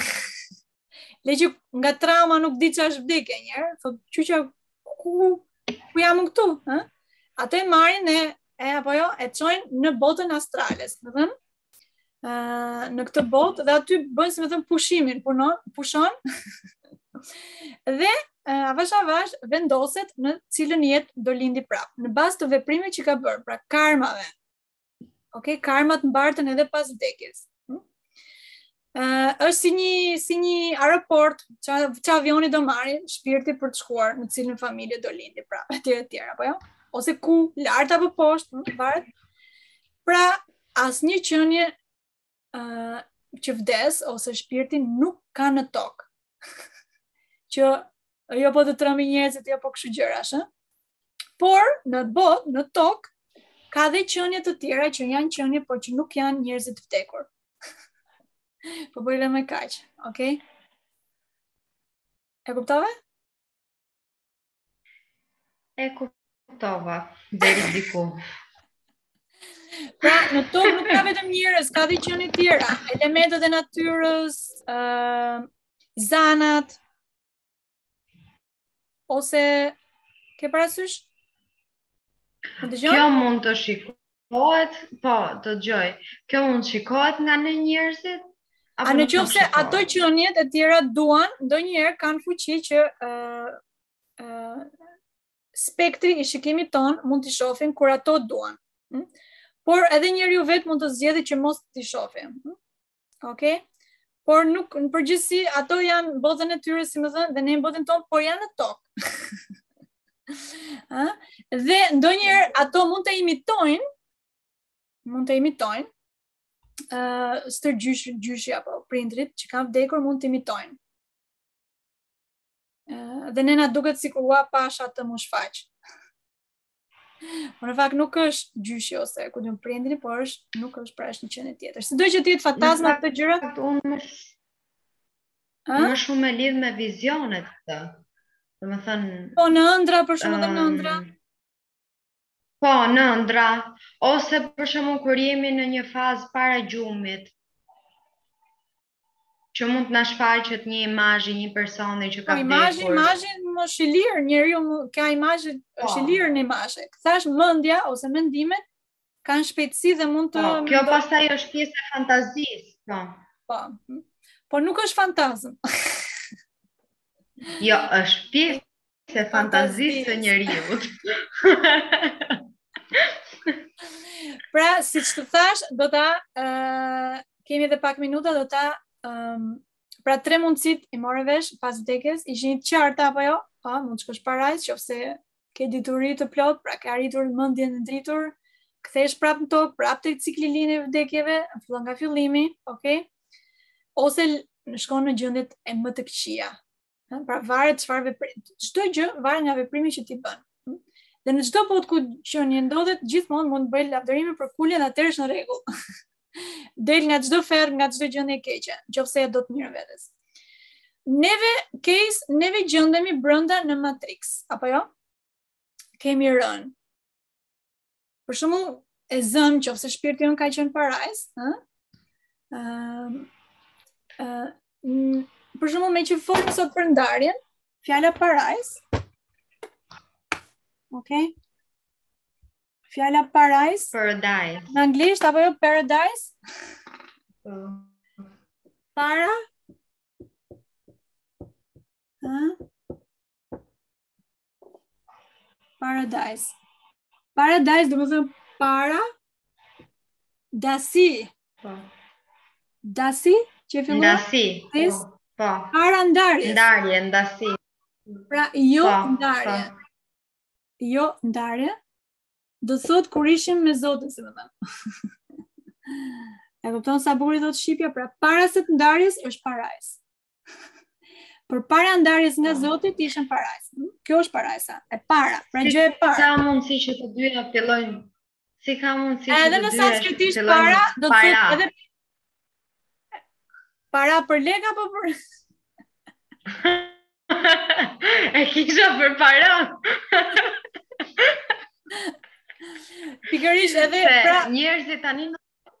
Njerëzit tani në tokë vetëm ato po shikojnë si parajs. E di ato ta kanë. Po. Nuk e lejojnë pjesën mbrapa.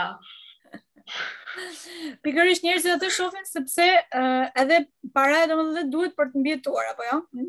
Po kur bën lavdërimin përkuljen dhe shërbimin ndaj Zotit ose natyrës më të lartit, edhe paraja pasuria, ë, ta rregullojnë planetët. Po. Ta bëjnë. Për shembull, që mund të gjesh një punë shumë të mirë kot, shpejt, sekond, është pra planetët i bëjnë. Po që t'i kesh mirë me planetët, duhet të bësh lavdërime përkuljen shërbime. Atëherë planetët do të bëjnë punojnë shumë mirë për ty. Okej? Okay? Kur ti bën këtë, atëherë çdo gjë shkon shumë mirë, rritet shpirti jot, shumë mëshirë, fiton një soul, Pra një shpirt, fryma jote fiton një shpirt, e tjerë e tjerë ke shumë të mira. Por, pra gjendja parajsore, para ndarjes, oke? Okay? Hm? Pra para ndyrjes, e para, e para fare. Edhe në sanskritisht, para do thot para, Po para do të thotë dhe mbrapa ndonjëherë, ha? sepse është gjuhë qendrore. Okay. Oh. para 10 viteve, pra para. Po, para 10 po, viteve unë bëra këtë. Para. Po, po, po, edhe thua ec përpara, ec para. Pra para. Pra minus 1. Ok, kjo në gjuhën e algoritmit simbolik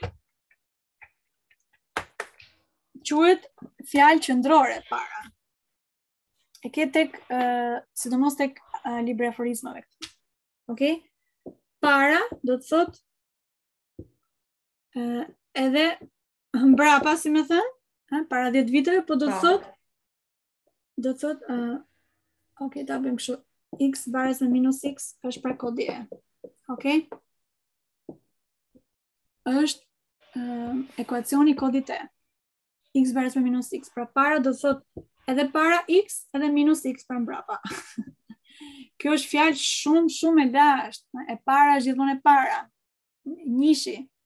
Okej? Okay? Pra pse sepse është gjuhë qendrore, edhe shqipja është gjuhë qendrore, edhe sanskritishtja. Ëh, uh, sido që të jetë pra para ndarjes, do thot përpara. para ndarjes pra kur ishte e tëra, pra do thot afër Zotit para uh, ndarje nga Zoti do thot ndyrje. Hm? Ne gjendemi këtu brenda në matrix apo jo kemi rënë hm? në gjuhën e filozofëve kjo quhet rënia e frymës në materie. edhe Petro Zheji e përmend shumë shpesh tek librat e tij, rënia e frymës në materie. E përmend shumë. Ëh. Ëh, sepse kjo është gjë filozofike. Pra le të kthehemi pak në shkencën e filozofisë, apo jo? Petro Zheji flet në aforizmën e tij ka një aforizëm shumë bomb që as akademikët nuk e kanë vënë re e jo më për ta studiuar. Okej. Okay. Pra, neve njerëzit, si me thënë, le të themi në në përgjithësi kemi rënë nga parajsa, si me thënë, kemi rënë, kemi ndarë, kemi rënë, ok? Shi sa bukur e thot, uh, Petro, rrënja, pra rrënja e ekzistencës tonë në këtë botë, është pra nga rënia nga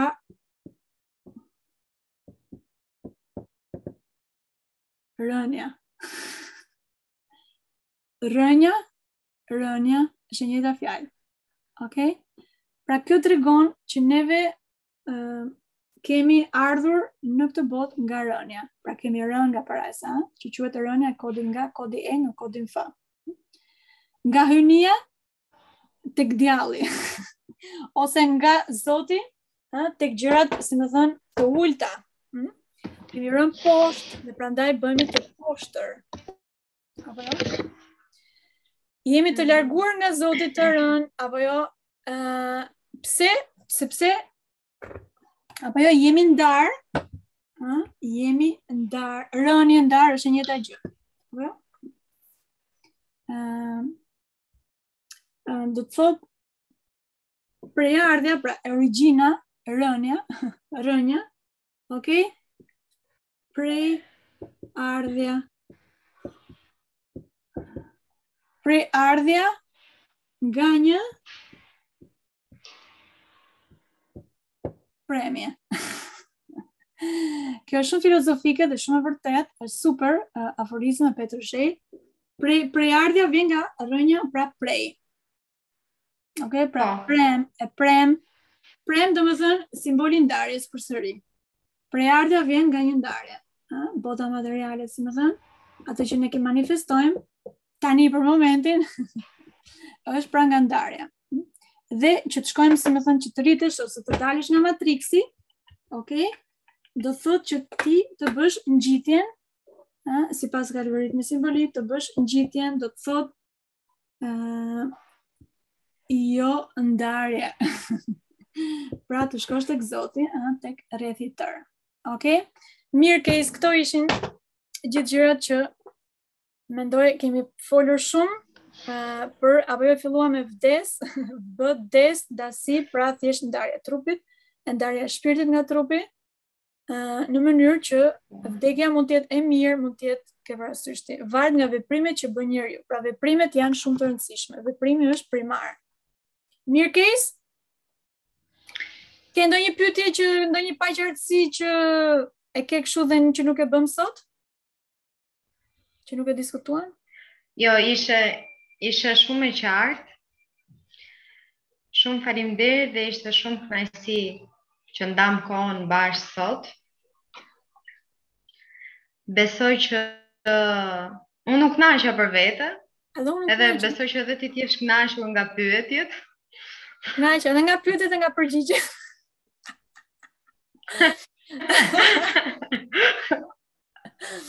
Jo, më vjen shumë mirë që kemi prekur tema për përgjigjet për Po përgjigjet i ka dhënë Petro. Përgjigjet e mia ishin shumë të shkurtra sepse po. Ja, kemi marrë, pra kemi marrë mësime nga ata të diturit, ëh. Dhe kur ti merr një mësim nga një guru ose nga një i ditur, atëherë ti rritesh sepse mëson diturinë e vërtetë. Ne sot folëm për gjëra që nuk janë nëpër libra. Ok, as dituria e Vedave nuk është nëpër libra, është e fshehur. As algoritmi simbolik, a kush flet vetëm Petro Zheji dhe ato bile që lexojnë, nuk nuk e nuk e ke parasysh ti. Nuk duhet të rinjtë duhet ta studiojnë më tepër algoritmin simbolik, duhet të bëjnë pyetje, duhet të bëjnë më shumë intervista për çfarë është kjo gjë, në mënyrë që të bëhet më e qartë. Por sot ishte shumë mirë.